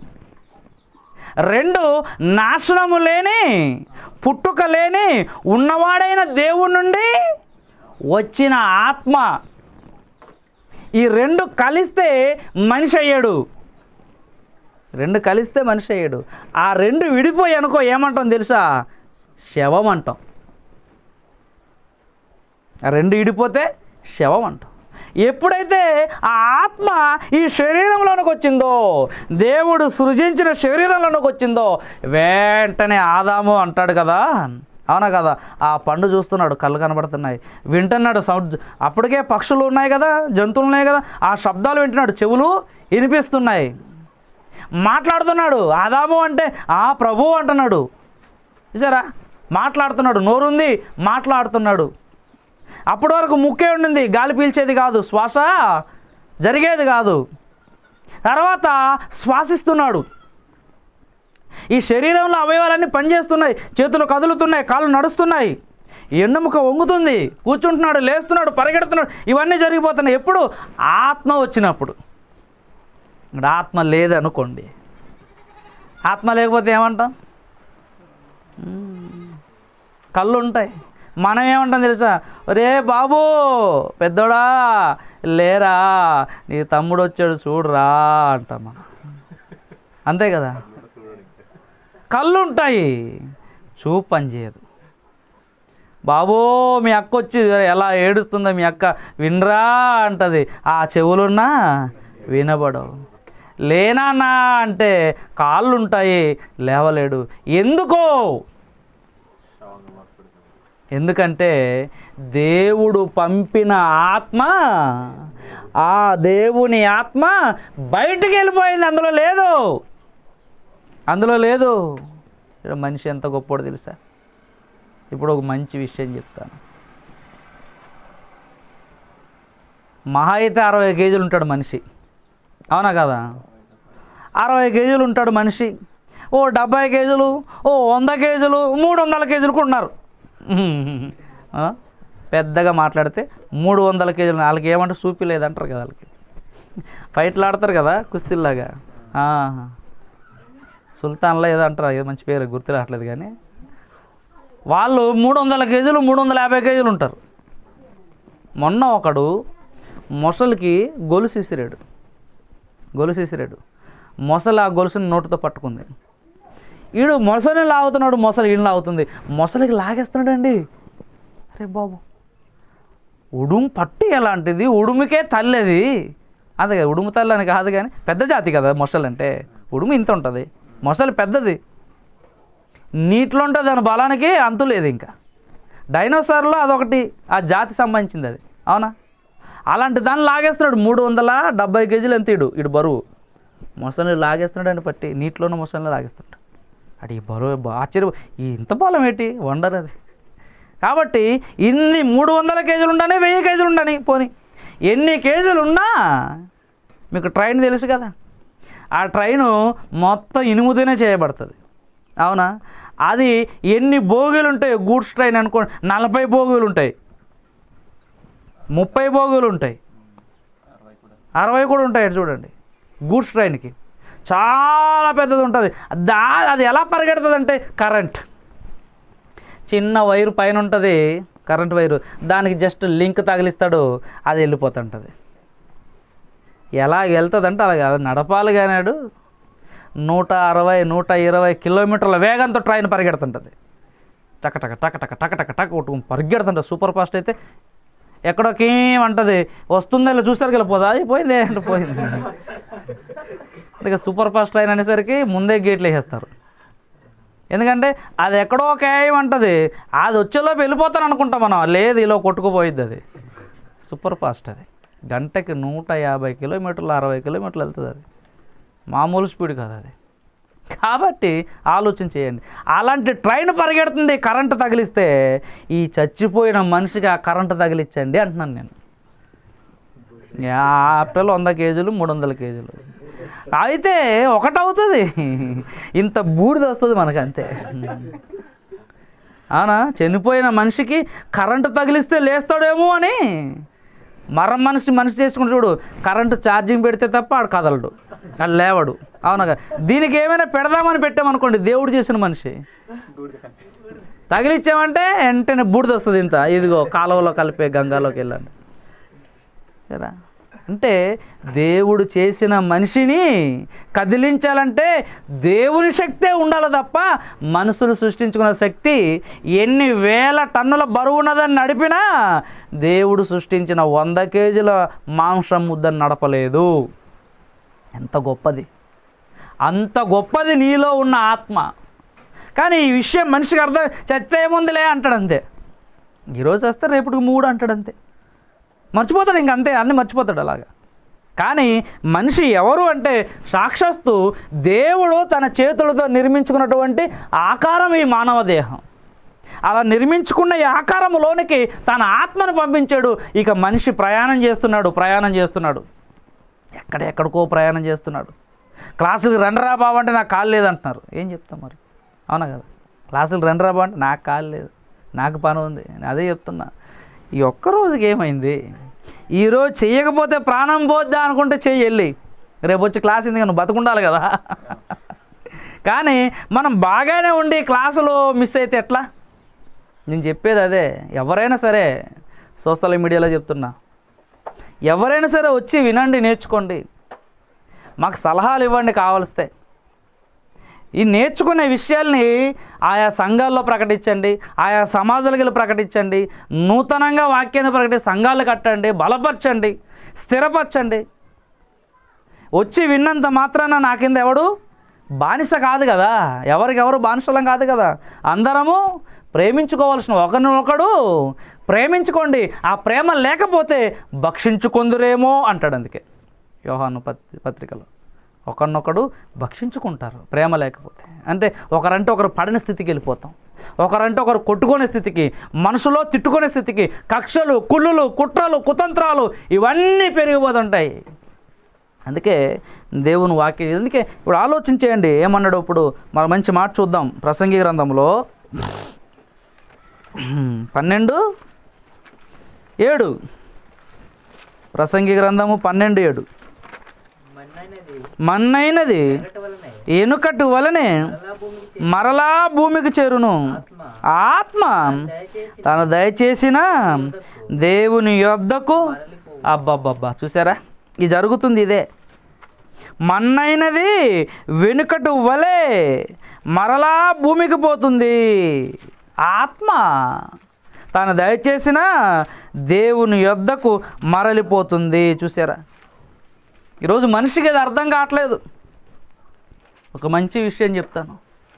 ఈరోజు మనిషి భరిస్తున్నటువంటి బాధలు మనిషి అనుభవిస్తున్నటువంటి కష్టాలు ఈ కన్నీళ్ళు ఈ ఇబ్బందులు ఈ శోధనలు ఇవన్నీ కూడాను దేనికి అనుకుంటున్నాడు? మనం అనుకుంటాం అప్పుడప్పుడు ఈ బాధలు నేను భరించలేనురా బాబు ఈ శోధన నేను సహించలేనురా బాబు చచ్చిపోతే ఏ బాధ ఉండదు. పాట రాశాడు కదా మనోడు. మనోడు అంటే మనోడు కాదు మనిషి అని మనోడు అన్నాను అందుకే. చస్తే ఏ బాధ లేదు చస్తే ఏ గోళా లేదని రాశాడు కదా. రాశాడు కదా అన్నీ మన పబ్లిక్కి చెప్పుకోకూడదు కదా చెప్పట్లేదు అంటే చస్తే బాధ లేదు చస్తే ఏ గోళా లేదు. ఏదో పుట్టే ప్రతివాడు చావాలి అది బాగానే ఉంది. పుట్టే ప్రతివాడు ఎలాగో చావాలి. కానీ చస్తే ఏ బాధ లేదంటే ఎలా అవుతుంది? విషయం ఏంటంటే మనిషి పుట్టినాకే బాధలు ప్రారంభమవుతాయి. తల్లి గర్భములో నుండే పోరాటం ప్రారంభమవుతుంది. ఇసాకు ఏషావు యాకోబు. తల్లి గర్భం నుండే నువ్వా నేనా? నువ్వా నేనా? నువ్వా నేనా? అన్న కంటే ముందు వచ్చేద్దామని చూస్తున్నాడు యాకోబు బయటికి. అవును కదా నువ్వు మామూలుడు కాదురా బాబు. తల్లి గర్భంలోనే ఫైట్ చేసావు నువ్వు. తల్లి గర్భం నుండి ఎవడైనా ఫైట్ చేస్తాడా? భూమి చరిత్రలో. నేను ముందెళ్ళాలని ముందుకు వచ్చేయడానికి ట్రై చేసేస్తున్నాడు. అమ్మ వీడు మామూలుడు కాదురా వాడు. ఇది చాలా డేంజర్ యాకోబు అని నీ పేరు మార్చేలే. అంతే కదా? ఇస్రాయేలు అన్నాడు అందుకే. పేరు మార్చకపోతే బుద్ధి మారదని. కాబట్టి తల్లి గర్భం నుండే ఫైట్ స్టార్ట్ అయింది. తల్లి గర్భం నుండి భూమి మీద రాగానే ఏడు ప్రారంభమైంది. ఏడ లేదనుకో టపా టపా టపా కొట్టేయడమో లేదంటే గిచ్చేయడమో చేస్తారు నర్సులు. తెలుసా మీకు? ఏడాలి ఏడా లేదు ఏడకపోతే చచ్చిపోతారు బాబు. అప్పుడు అంటాం ఒకసారి అప్పుడు. శరీరం నీకు చెప్పే విషయం ఏంటంటే చస్తే గోల లేదు కాదు పుట్టగానే గోల ప్రారంభమైంది పుట్టగానే కష్టం ప్రారంభమైంది పుట్టగానే బాధలు ప్రారంభమైనాయి నీకు. ఇక జీవి పుట్టుకతో ఉన్నప్పుడే జీవిస్తున్నప్పుడే నీకు బాధలు. ఈ బాధలన్నీ ఎవరికో తెలుసా? ఎవరికి ఈ బాధలు? నీ శరీరానికి అనుకున్నావా? నీకు. నేను తట్టుకోలేకపోతున్నానండి ఈ బాధలు. నేను తట్టుకోలేకపోతున్నాను ఈ టార్చరు. నిన్న ఒక వీడియో చూస్తుంటే నాకు ఆశ్చర్యం అనిపించింది. భార్య బాధితుల సంఘం. రెండు వేల పద్నాలుగులో పెట్టారట. ఇప్పటివరకు మనం తెలియలేదు చూడండి. తెలిస్తే జాయినింగ్ అయ్యదు భార్య బాధితుల సంఘం అంట. ఎన్ని వాళ్ళు చెప్పేది విన్నాడు బుర్రపడే ఇలా ఉంటారా అంటే అలాగే ఉన్నారంట ఈరోజు. అలాగే ఉన్నారంట ఆడది బయటకు వచ్చి చెప్పుకుంటుంది ఆడది బయటకు వచ్చి అరుస్తుంది ఆడది పక్కోళ్ళకి చెబుతుంది. అవునా? ఏదైనా సరే సంతోషమైన బాధ అయినా సరే.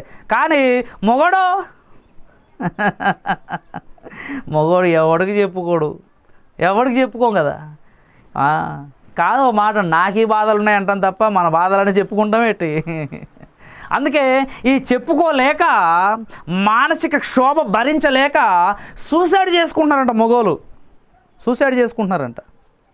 ఆ సూసైడ్ చేసుకున్నా ఎందుకు చచ్చిపోతున్నారో రాయట్లేదు మరలా. ఎందుకంటే అప్పుడు కూడా చెప్పుకోలేకపోతున్నారు చూడండి. అప్పుడు కూడా చెప్పుకోలేకపోతున్నారట. అందుకే ఇక లాభం లేదని ఇలాంటి భార్య బాధితుల్లో పెద్ద పెద్దలు అందరూ వచ్చి అందులో లాయర్లు ఉన్నారు. ప్రొఫెసర్స్ ఉన్నారు. పెద్ద పెద్దోళ్ళు ఉన్నారండి. వచ్చారు మాట్లాడుతున్నారు. మేము నా భార్య ఇలా చేసింది. నా ఈ నేను చెప్పేది ఏంటంటే వాళ్ళ గురించి కాదు కానీ బాధ దేనికి? నొప్పి దేనికి? ఏడవలేదు పుట్టినప్పుడని గిచ్చితే ఆ నరసింహ చూడు ఆ నొప్పి దేనికి? గిచ్చించుకున్నటువంటి ఈ చర్మానికి ఆ నొప్పి? లాగి కొడితే అమ్మో అన్నాం చూడు ఆ బాధ దేనికి? దేనికి? అది తెలియక ఏది బాధపడుతుందో ఏది బాధ అనుభవిస్తుందో ఏది క్షోభ పడుతుందో ఏది కన్నీరు పెడుతుందో నీ మనసు కన్నీరు పెడితే ఈ కంట్లో నుంచి అది బయటికి రావాలి. నీ మనసు క్షోభను అనుభవిస్తే ఈ కంట్లో నుంచి కన్నీటి రూపంలో బాధ బయటికి రావాలి. ఇది కేవలం బయట కనిపించేదే. కానీ కంటికి ఆ బాధ కాదు నీ మనసుకి. ఎక్కడ గాయమైంది? గాయం ఇక్కడ బాధ దేనికి? చచ్చిపోయారు అనుకోండి అవునా? చచ్చిపోయారు అనుకోండి. ఉల్లిపాయలు ఇలా కోసేస్తాను. తమ్మ త్వరగొండమ్మా అన్నాడు అనుకోండి రవి. అలా ఆవిడ కంగారులో ఉల్లిపాయలు ఎలా కోసి తెగి తెగింది అనుకోండి చిన్నది. అమ్మా నొప్పి అంటది. ఏమైందమ్మా? "ఏ, తెగింది? చిన్నదే కదండి నీకు చిన్నదే. నాకు తెగింది. నాకు నొప్పి తెలుస్తుంది అంట అంతే కదా? చిన్న తెగితే అమ్మో అంటామే. మంచి భర్తలు కొద్దిమంది ఉంటారు. ఏమైనంటే కర్ర తీసుకొని కొడేస్తుంటారు తలిపేసి మరి. పెద్ద అప్పుడు రికార్డింగ్లు ఉండేవి. స్టెప్ రికార్డులు ఉండేవి కదా. అప్పుడు అలాగే జరిగేదంట ఎక్కువగా. సౌండ్ ఫుల్ పెట్టడం కొట్టేయడం ఎవరికి తెలిసేది కాదంట. అరుస్తుంటే ఇటమో ఇటు పాట వినిపిస్తుంటుంది డుబ్బు డుబ్బు డుబ్బున. అక్కడ అరుపులు వినిపించావు. బయటకు వచ్చేస్తాడు. మొత్తం తుడుచుకొని బయట రా అంటాడు అంతే. నవ్వుకుంటూ రావాలి. కాబట్టి ఇలా కొట్టేస్తే అమ్మో అబ్బో అంటున్నావే దేనికి బాధ? చివరికి చచ్చిపోయిన తర్వాత చచ్చిపోయిన తర్వాత ఎప్పుడైనా చూసారా? చచ్చిపోతున్నప్పుడు చచ్చిపోయిన తర్వాత సమాధిలో పెడతాం చూడండి. కట్టెల మీద పెడతాం చూడండి. అంటే మన సాంప్రదాయం హిందూ సాంప్రదాయంలో. కట్టెల మీద పెట్టి కాలుస్తుంటాం చూడండి. మరి కాల్చేటప్పుడు అమ్మో అబ్బో లేచి వచ్చేయాలి కదా. వస్తే మనం అక్కడ ఉంటాం ఏంటి? అవునా? అక్కడ ఉంటామా? ఇదే మీటింగు. కట్టె మిగిల్చిన కన్నీటి కాదా రెండు వేల పదమూడు పన్నెండు ఆ టైంలో చెప్తున్నప్పుడు రాత్రులు మీటింగ్లు కదా. చాలామంది భయపడిపోవాలి ఈ ఈ భయపెడేస్తున్నారు బాబు అని. మా కొయ్యూరులో అక్కడ లైవ్ ఇచ్చారు టీవీలకి ఇచ్చేశారు. ఏమో డిష్లు ఉంటాయి కదా దానికి షూట్ చేసి ఆ లైవ్ లైవ్ ఇచ్చేది. చాలామంది చూశారు ఆ రోజు మీటింగు. అన్యులు చాలామంది. అమ్మోయ్ భయపెట్టేసావు తర్వాత కనిపిస్తే. నువ్వు భయపెట్టేసావు రాత్రి అంటే ఏం భయపెట్టేసావు నేను? అనుకున్నాను రాత్రిలో చెప్పారు కదా వాక్యం చాలా బాగుందని. అలాగా కాల్ చేస్తుంటే కాలుస్తూ ఉంటే నాకు కాలిపోతుంది మండిపోతుందని బయటకు రాదే అక్కడ ఎలా ఉంటుంది పడిపోయి? ఏమన్నదే ఒకవేళ కాలలేదు అనుకోండి ఏం చేస్తారో తెలుసా మీకు? కత్తి తీసుకొని నరుకుతారు తెలుసా శరీరాన్ని? తెలుసా? నరుకుతారు శరీరాన్ని. నరికితే ఈ శరీరంలో ఒక ద్రవం బయటకు వస్తుంది. అది బయటకు వస్తే త్వరగా టపటపడ ముట్టుకుపోతుంది శరీరం. తెలుసా? పంచదార వేస్తారు ముట్టుకోపోతే ఇంకా. పెట్రోల్ ఇప్పుడు దొరికిందిలే కానీ పంచదార వేసేవాళ్ళు. ఇప్పుడు పెట్రోల్ వేస్తారులేండి. ఇలాగా అలా కాలిపోతున్నా అలా నరికినా ఏం చేసినా అమ్మో అన్నది అబ్బను మరి ఇంతకుముందు చిన్న తెగితేనే అమ్మో అన్నావు? చిన్న దెబ్బ కొడితేనే అబ్బో అన్నావు? ఇప్పుడు ఎందుకు అరవట్లేదు? ఎవరికి బాధ? అది అర్థం కాక ఈ కవి చస్తే అది అంటే చచ్చిపోయిన తర్వాత కాల్చినా కప్పినా ఏం చేసినా అది అరవట్లేదు ఏం లేదని దీనికి ఏం బాధ లేదనుకున్నాడు అది నువ్వు కాదురా బాబు అది నీ శరీరము అది నువ్వు కాదు.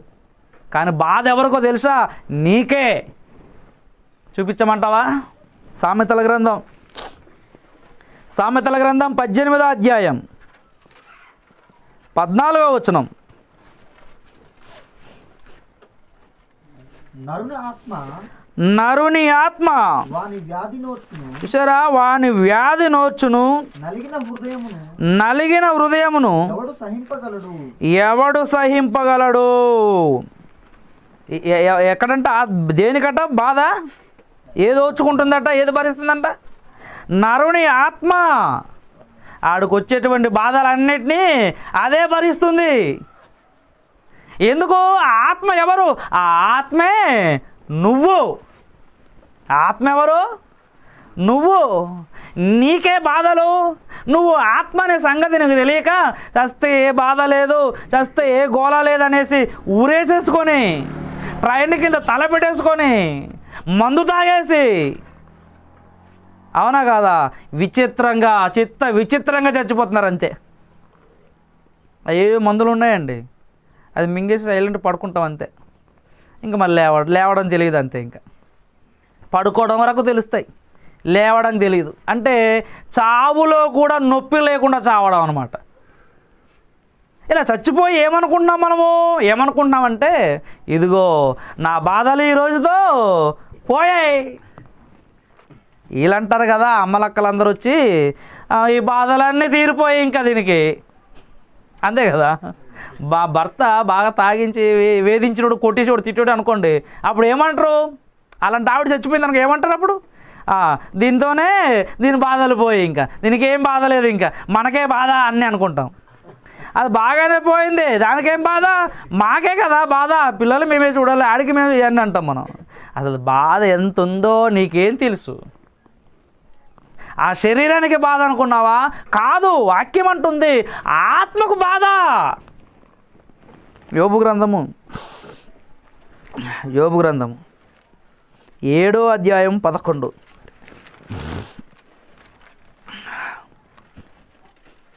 కావున నేను నా నోరు మూసుకొనను.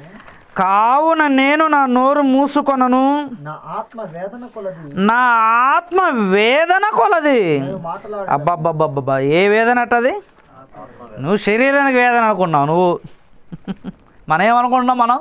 మనిషి శరీరానికే బాధ శరీరానికే వేదన అనుకో శరీరానికి కాదు శరీరంలో నువ్వున్నావు. ఈ శరీరంలోనికి దేవుడు నిన్ను పంపించాడు. కాబట్టి ఈ బాధ అయినా వేదనైనా శోధనైనా కష్టమైనా ఏ నొప్పైనా నీకే అంటే ఆత్మకే. యోబు గ్రంథం ముప్పై రెండో అధ్యాయము ఎనిమిదవ వచనం. యోబు గ్రంథము ముప్పై రెండవ అధ్యాయం ఎనిమిదవ వచనం. ఆయనను ఈ విషయం ఎవడికి అర్థం కావట్లేదు అనమాట అందుకే చెప్తున్నాడు ఆయనను నరులలో ఆత్మ ఒకటి ఉన్నది అది మర్చిపోయావు నువ్వు. ఆ ఆత్మకే బాధ ఉన్నదని ఆ ఆత్మకే నొప్పి ఉన్నదని ఆ ఆత్మ ఏడుస్తుందని నీకు అర్థం కాలేదు. అర్థం కాక చచ్చిపోగానే ఏ బాధ లేదు చచ్చిపోగానే ఏ గోళ లేదు అంటున్నాడు చూడండి. మనిషి మెదడు ఎంత చిన్నదో. దేవుని జ్ఞానం అర్థం కావాలంటే దేవుని ఆత్మ జ్ఞానం అర్థం కావాలంటే ఏసుక్రీస్తులోనికి రావాల్సిందే. బైబిల్ గ్రంథాన్ని చదవలసిందే. బైబిల్ చదవాలి బైబిల్ తెలుసుకోవాలి. ఏసుక్రీస్తు జ్ఞానం ఏంటో తెలుసుకోవాలి మనం. తెలియకపోతే దేనికి బాధో దేనికి నొప్పో తెలియక ఈ శరీరానికే అనుకుంటున్నాం. ఈ చచ్చిపోతే ఏ గొడవ లేదనుకుంటున్నాం. అందుకే విచ్చలు విడిగా తిరుగుతున్నాం అంతే. నిర్మించిన వాడు ఎవరు? సాక్షాత్తు దేవుడు. అందుకే ఇదిగో నరుల నరులలో ఏముందంట? ఆత్మ ఉంది. ఆ ఆత్మకే బాధ ఆ ఆత్మకే క్షోభ. నీ శరీరానికి కాదు. అందుకే నువ్వు వేరు నీ శరీరం వేరు. ఆత్మ వేరు శరీరం వేరు. ఆత్మ ఎవరు? నువ్వే. ఆత్మ ఎవరు? నువ్వే. ఆ ఆత్మకే పేరు. ఒక పేరు చెప్పండి బాగుంది మంచి పేరు చెప్పండి. మంచి పేర్లు ఉంటాయా? ఏం ఉండవు. మం మనిషి మంచిగా బ్రతికితే మంచి పేరు సంపాదించుకున్నాడు అంటాం అంతే. అప్పుడు ఆ పేరునే మంచి పేరు అంటాం. అంతే కదా? అంతేగాని మంచి పేర్లు చెడ్డ పేర్లు ఏముండో పేర్లంతా నీకు నచ్చింది పెట్టుకోవచ్చు. అంతే నీకు నచ్చింది పెట్టుకోవచ్చు. కాబట్టి ఒక పేరు చెప్తాను చూడండి. చక్కగా ఎవరి పేరు చెప్పినా బాధపడతారు. శేఖర్ అనుకోండి. ఏం పేరు? నా పేరు ఏం పేరు? శేఖర్. నేను పడుతున్న బాధలన్నీ ఎవరికి? నాకే. నాకే కానీ నా శరీరానికి కాదు. ఈ విషయం ఒకసారి ధర్మవరం మీకు ఐడియా ఉందో లేదో నేషనల్ హైవేలో ఉంటుంది. ఎర్రవరానికి దగ్గరలో ఉంటుంది ధర్మవరం అన్నవరం దాటిన తర్వాత. ఆ ధర్మవరంలో సువార్తకి వెళ్ళాం వీధి సువార్తలకి. మెగాఫోన్ పెట్టుకొని అలా సువార్తలకు వెళ్తుంటే ఒక టెంపుల్ దగ్గర చాలామంది కూర్చొని మూడు గంటల టైంకి అష్టచమ్మ సీతారాములు క్యారమ్స్ ఇవి ఆడుతున్నారన్నమాట కూర్చొని అలాగా. అలా వెళ్తే నేను అన్నాను అప్పటికే మా వాడికి తమ్ముడు ఇటొద్దు అక్కడ టెంపుల్ ఉంది వాళ్ళకి ఇబ్బందిగా ఉంటుంది. అవునా కదా? ఇలాగ వెళ్ళిపోదాం అన్నాను. మావాడు అన్నాడు అని అక్కడే ఎక్కువ మంది ఉన్నారు వాళ్ళకే చెప్దాము. వాళ్ళకే కదా చెప్పాల్సిందే అన్నాడు. వాళ్ళకే కానీ ఆ పక్కకి వెళ్ళి చెప్తే వాళ్ళు వింటారు కదా అను లేదు వాళ్ళ దగ్గరికి వెళ్దామని మైక్ పట్టుకు వెళ్ళిపోయాడు అప్పుడు వాళ్ళు ఏమన్నారంటే ఓరు బాబు ఆపండ్రా బాబు. మీ వాళ్ళు అల్ల అక్కడ ఉన్నారు అటు వెళ్ళండి. మీ వాళ్ళు అటు ఉన్నారు అన్నాడు. అనగానే నాకు కోపం వచ్చింది అప్పుడు. మీ ఓలా మా వాళ్ళు అంటాడు ఎలాగని చెప్పాలనిపించి అప్పుడు డిసైడ్ అయిపోయింది. అయిపోయి మా వాళ్ళంటే వాళ్ళని మీరు వేరని కాదండి మేము భారతీయులమే మేము మనుషులమే. మనంతా ఒకటే అవునా కదా? ఒకటే కదా? ఒక శరీరమే కదా? వాళ్ళకి ఏమైనా ఏమంటారు దాన్ని? అయ్యో కొత్త వచ్చింది కదా ఒకటి. టూ. సినిమా అండి. అవతారు అవతారు టూ. అలా ఉన్నారా? అలా ఏమైనా? అలా ఏమైనా? అలా ఉన్నారా? అలా లేరు కదా. వాళ్ళు మనలాగే ఉన్నారు మనం అలాగే ఉన్నాం. వాళ్ళేం అవతార మనుషుల్లా లేరు కదా. కాబట్టి వాళ్ళు మనందరం మనుషులేమండి మేము మీకోసమే వచ్చాము. వాళ్ళకన్నా కాదు అటు కూడా వెళ్తాము అంటే మాకు చెప్పకండి అలాంటివి అన్నారన్నమాట. అయితే మీకు ఒక ప్రశ్న అడుగుతానండి. ఆ ప్రశ్న సమాధానం చెప్తే నేను అటు వెళ్ళిపోతాను నన్ను అంటే ఒక ఆయన అన్నాడు ఉంటాయి నలభై దగ్గర నలభై ఐదు అలా ఉంటాయి అన్నాడు ఏ ప్రశ్న అడుగుతావు బాబు అన్నాడు. ఏం లేదు సిమ్ చిన్న ప్రశ్న అండి ఒక మాట. మీకు తెలుసు అంటే వెళ్ళిపోతాను. తెలియదు అంటే చెప్తాను అన్నాను. మీకు తెలియదు కనుక చెప్దామని వచ్చాము. మీకు తెలిస్తే ఇంకా అంతకంటే ఏముందండి? మీకు చెప్పనవసరం లేదు అటు వెళ్ళిపోతామంటే. అడుగు బావు అన్నాడు. అంటే అన్నాను మీరు నన్ను చూస్తున్నారా? అన్నాను అంతే. నిజం చెప్తున్నాను. అలాగే మాట్లాడాను. అలాగే జరిగింది సందర్భం అక్కడ. మీరు నన్ను చూస్తున్నారా? అన్నాను. అనేసరికి మరి ఆగాల ఆగొద్దా మనిషి అప్పుడు? ఆగాల మరి ఆగాల? మామూలుగా ఉండదు కదా. అయిపోయాడు మొత్తం అయింది మైండ్కి ఒక్కసారే. ఏటి బాబు అన్నాడు. అర్థం అవ్వలేదా? మీరు నన్ను చూస్తున్నారా? లేదా మీకు నేను కనిపిస్తున్నానా? అన్నాను. అంటే కనబడుతున్నావు అన్నారు. ఆలోచించి చెప్పండి అన్నాను. కంగారు పడకుండా ఆలోచించి చెప్పండి. ఇదేదో బాగుంది అనిపించింది నాకు అప్పుడు. ఈసారి ఎక్కడికి సువార్తకి వెళ్ళినా అదే స్టార్ట్ చేసేవాడిని. అప్పుడు కనిపిస్తున్నానా అంటే కనిపిస్తున్నాను. ఆలోచించి చెప్పండి అంటే కనిపిస్తున్నా. తమ్ముడు మీకు కనిపిస్తున్నావు. అమ్మ మీకు కనిపిస్తున్నా. నేనేం చెప్తాను తెలుసా అన్నాను. అనేసి మీరు నాకు ఎవరు చూడట్లేదు మీకు నేను ఎవరికి కనిపించట్లేదు అన్నాను అంతే. అంటే దేటి? అంతే కదా? ఇదేటి? ఇలా మాట్లాడుతున్నాడు ఈ బాబు? అనుకో అలా అమ్మా నేను చెప్పింది నిజమే. మీకెవ్వరు నేను కనిపించట్లేదు మీరెవ్వరు నన్ను చూడట్లేదు అన్నాను. అంటే అదేటి అన్నారు. మరి అది చెప్పడానికి వచ్చాను నేను. అది చెప్దామని వచ్చాను నేను. అయ్యా చెప్పయ్యా అన్నారు అంతే. ఒక్క పది నిమిషాలు మీరు అర్థమైపోతే పది నిమిషాలు. అర్థం కాకపోతే అరగంట. ఇంకా చెప్పమంటే గంట అన్నాను. అంటే చెప్పు మాకు అర్థమైనంత చెప్పు అన్నారు. అప్పుడు ఇదేంటి అన్నాను. ఫోన్ అన్నారు. ఎవరు ఫోన్ అన్నాను. నీ ఫోనే అన్నారు. బాగా చెప్పారు. నాదంటారని భయపడ్డాను. అంటే బయట సువార్తకి వెళ్ళినప్పుడు కొంచెం ఇలాగే ఉండాలి మాటగారిగా. అలాగే మాట్లాడాలి. అంటే అప్పుడు ఎలా కలిసిపోతారు వాళ్ళు? చెప్తున్నాను కదా ఆర్ఎస్ఎస్ పిల్లల దగ్గర పదహారు మంది వచ్చారు youth. Twenty five thirty five years ఉంటాయి వాళ్ళకి. RSS batch. గొంతు కొత్తపల్లి అన్నవరం దగ్గర. ఈ అన్నవరం కాదు ఆ దేవుడు అన్నవరం. వాళ్ళ దేవుడు అన్నవరం అంటారు కానీ నేను అన్నాను అంతే. అది. అక్కడ వచ్చారు. ఈ లేట్ అంటే ఒక సువార్తకు వచ్చారు మాతో. అది అన్నవరానికి ఆపోజిట్లో హైవే అటువైపు లెఫ్ట్ సైడ్ రైట్ సైడ్. అక్కడ సువార్త చేస్తే అక్కడికి వచ్చి విన్నారు వీళ్ళు. వినేసి అక్కడ అన్యులు అక్కడ కూడా టెంపుల్ దగ్గర చెప్పాను పర్మిషన్ తీసుకొని. అది అన్యులు. అరవై ఐదు డెబ్బై సంవత్సరాలు ఉంటాయి ముసలానికి. కాలు మీద పడిపోయాడు. మా జీవితంలో ఎవరు చెప్పలేదు అన్నాడు అంతే. బడిలో కూడా చెప్పలేదు అన్నాడు అంతే. రెండు వందలు కానికిచ్చాడు నాకు ఆ రోజు. ముసలోడు. ఒక పద్యం నాకు తెలియదు కానీ ఆయన ఏదో పద్యం పాడాడు ఈ పద్యానికి అర్థము మా పా మా మాస్టర్ గారు ఈ పద్యం పాడుతుండారు కానీ ఎప్పుడు పాడడమే దీని అర్థం చెప్పలేదు. ఒరే అది ఎవరికి తెలియదు జీవిత పరమార్థం అన్నాడట అంతే. చచ్చిపోయినంత వరకు తెలియకుండా పోద్ది అన్నాడట. ఇప్పటికీ నాకు తెలియలేదు దాని గురించి. అని ఆ పద్యం పాడి దాని అర్థం నువ్వు చెప్పే బాబు అన్నాడు అంతే అన్యుడు రామాలయంలో ఉన్న వాళ్ళంతా. కాబట్టి అక్కడ మెసేజ్ విని వీళ్ళు పర్మిషన్ అడిగారు. నీలాటోడే కరెక్ట్ వీళ్ళకి అనేసి. ఆ ఆర్ఎస్ఎస్ల దగ్గర రెండు మూడు గంటలు మాట్లాడిన వాక్యం. కూర్చొని లేవలేని ముసలోళ్ళు కూడా ప్రశ్న అడిగారు ఆ రోజు. ఎన్ని ప్రశ్నలు అడిగారో ఆ ప్రశ్నలకు సమాధానం చెప్పి వీళ్ళు ఈ వాళ్ళు అడిగిన ప్రశ్నలకి సమాధానం చెప్పి ఆ కేసు గూగుల్ తల మీద తోస్తాను నేను. నేను చెప్పేది అబద్ధమైతే గూగుల్ తల చూసుకుంటాను అంతే. అక్కడ ఉంటాయన్నాను మీరు ఏది అడిగినా అక్కడ ఉంటాయి. నాకే అడగాల్సిన అవసరం. ఏది నిజము ఏది అబద్ధము? ఏది వాస్తవము ఏది అవాస్తవము? ఏది దైవము ఏది అదైవము?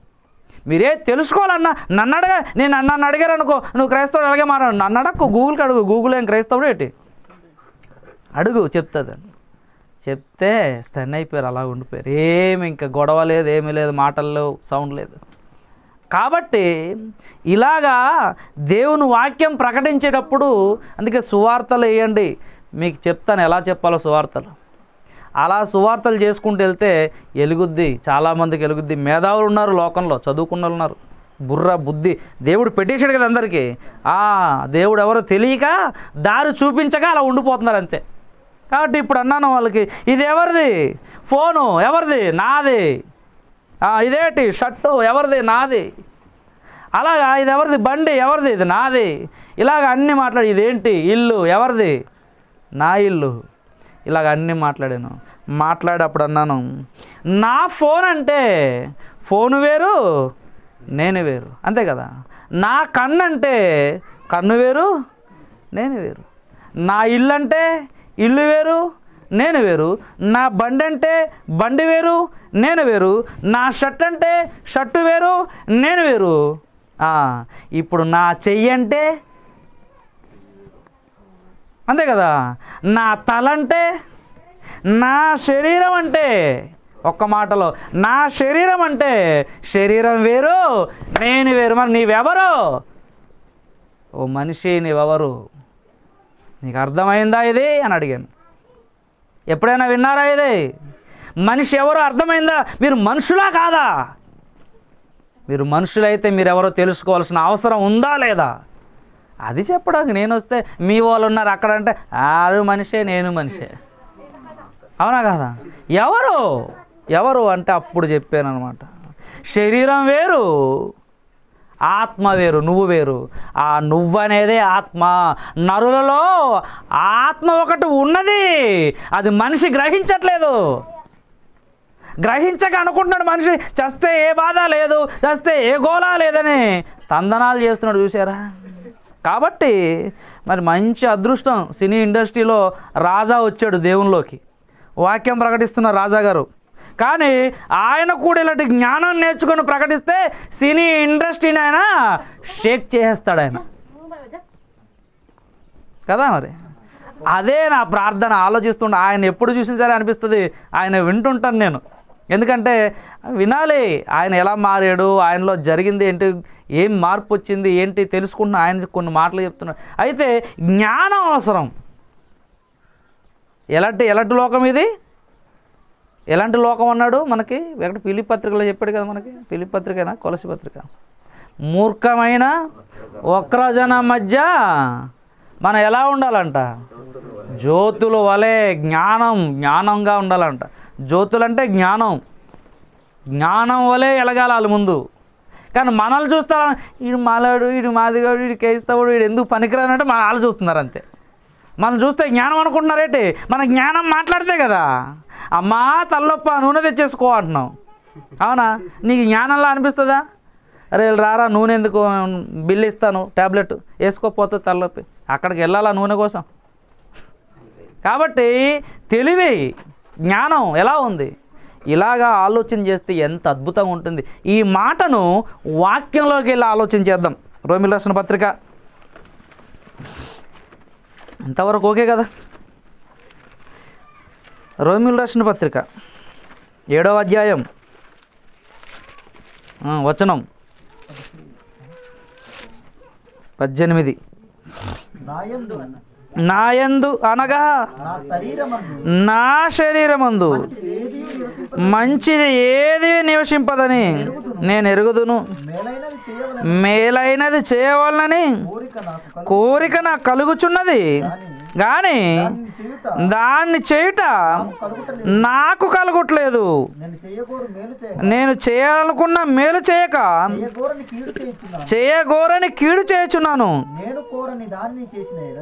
నేను కోరని దాన్ని చేసిన ఎడలా. కోరని దాన్ని చేయునది. నా యందు నివసించు పాపమే కాదు నాయందు నివసించు పాపమే గాని ఇకను నేను కాదు అన్నాడు చూసారా? ఇక్కడ మనం ఆలోచన చేస్తే పౌలు గారు మాట్లాడుతున్న ఈ మాటల్లో నాయందు అనగా నా శరీరమందు ఎంత బాగుందన్నమాట ఏటట? నాయందంటే నా శరీరమందు. మీరు గమనించాలి. ఇదిగో అందుకే చెప్తున్నాను అందుకే అక్కడి నుండి వచ్చిందే ఈ తెలివితేటలు మనకి. ఇదేంటంటే ఫోను? ఫోను నేను ఒకటా? కాదు ఫోను వేరు నేను వేరు. అలాగా నాయందు అంటే నా శరీరము. శరీరము నేను కాదు అన్నాడు అంతే ఎంత బాగుంది. నాయందంటే నా శరీరము. ఇది నా నా షర్ట్ అంటే షర్ట్ నేను ఒకట? కాదు కదా. అలాగా నా శరీరం అంటే శరీరం నేను తొడుక్కొని వచ్చాను. ఈ లోకానికి తొడుక్కొని వచ్చాను. ఎబ్రిపత్రిక పదాధ్యాయం ఐదో వచనంలో ఉంటుంది కదా. నేను ఈ లోకమందు ప్రవేశించినప్పుడు అనడా లేదా? ఈ శరీరాన్ని ధరించుకున్నప్పుడు అంటున్నాడంతే. నేను ఎబ్రి పత్రిక పదే అధ్యాయం ఐదో వచనం.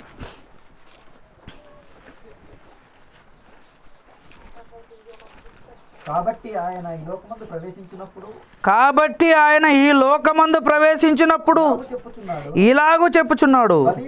బలియు అర్పణ నువ్వు కోరలేదు కానీ నాకు ఒక శరీరమును నాకొక శరీరమును అమర్చుతివి. చూసారా ఏటంట? శరీరాన్ని అమర్చుతివి.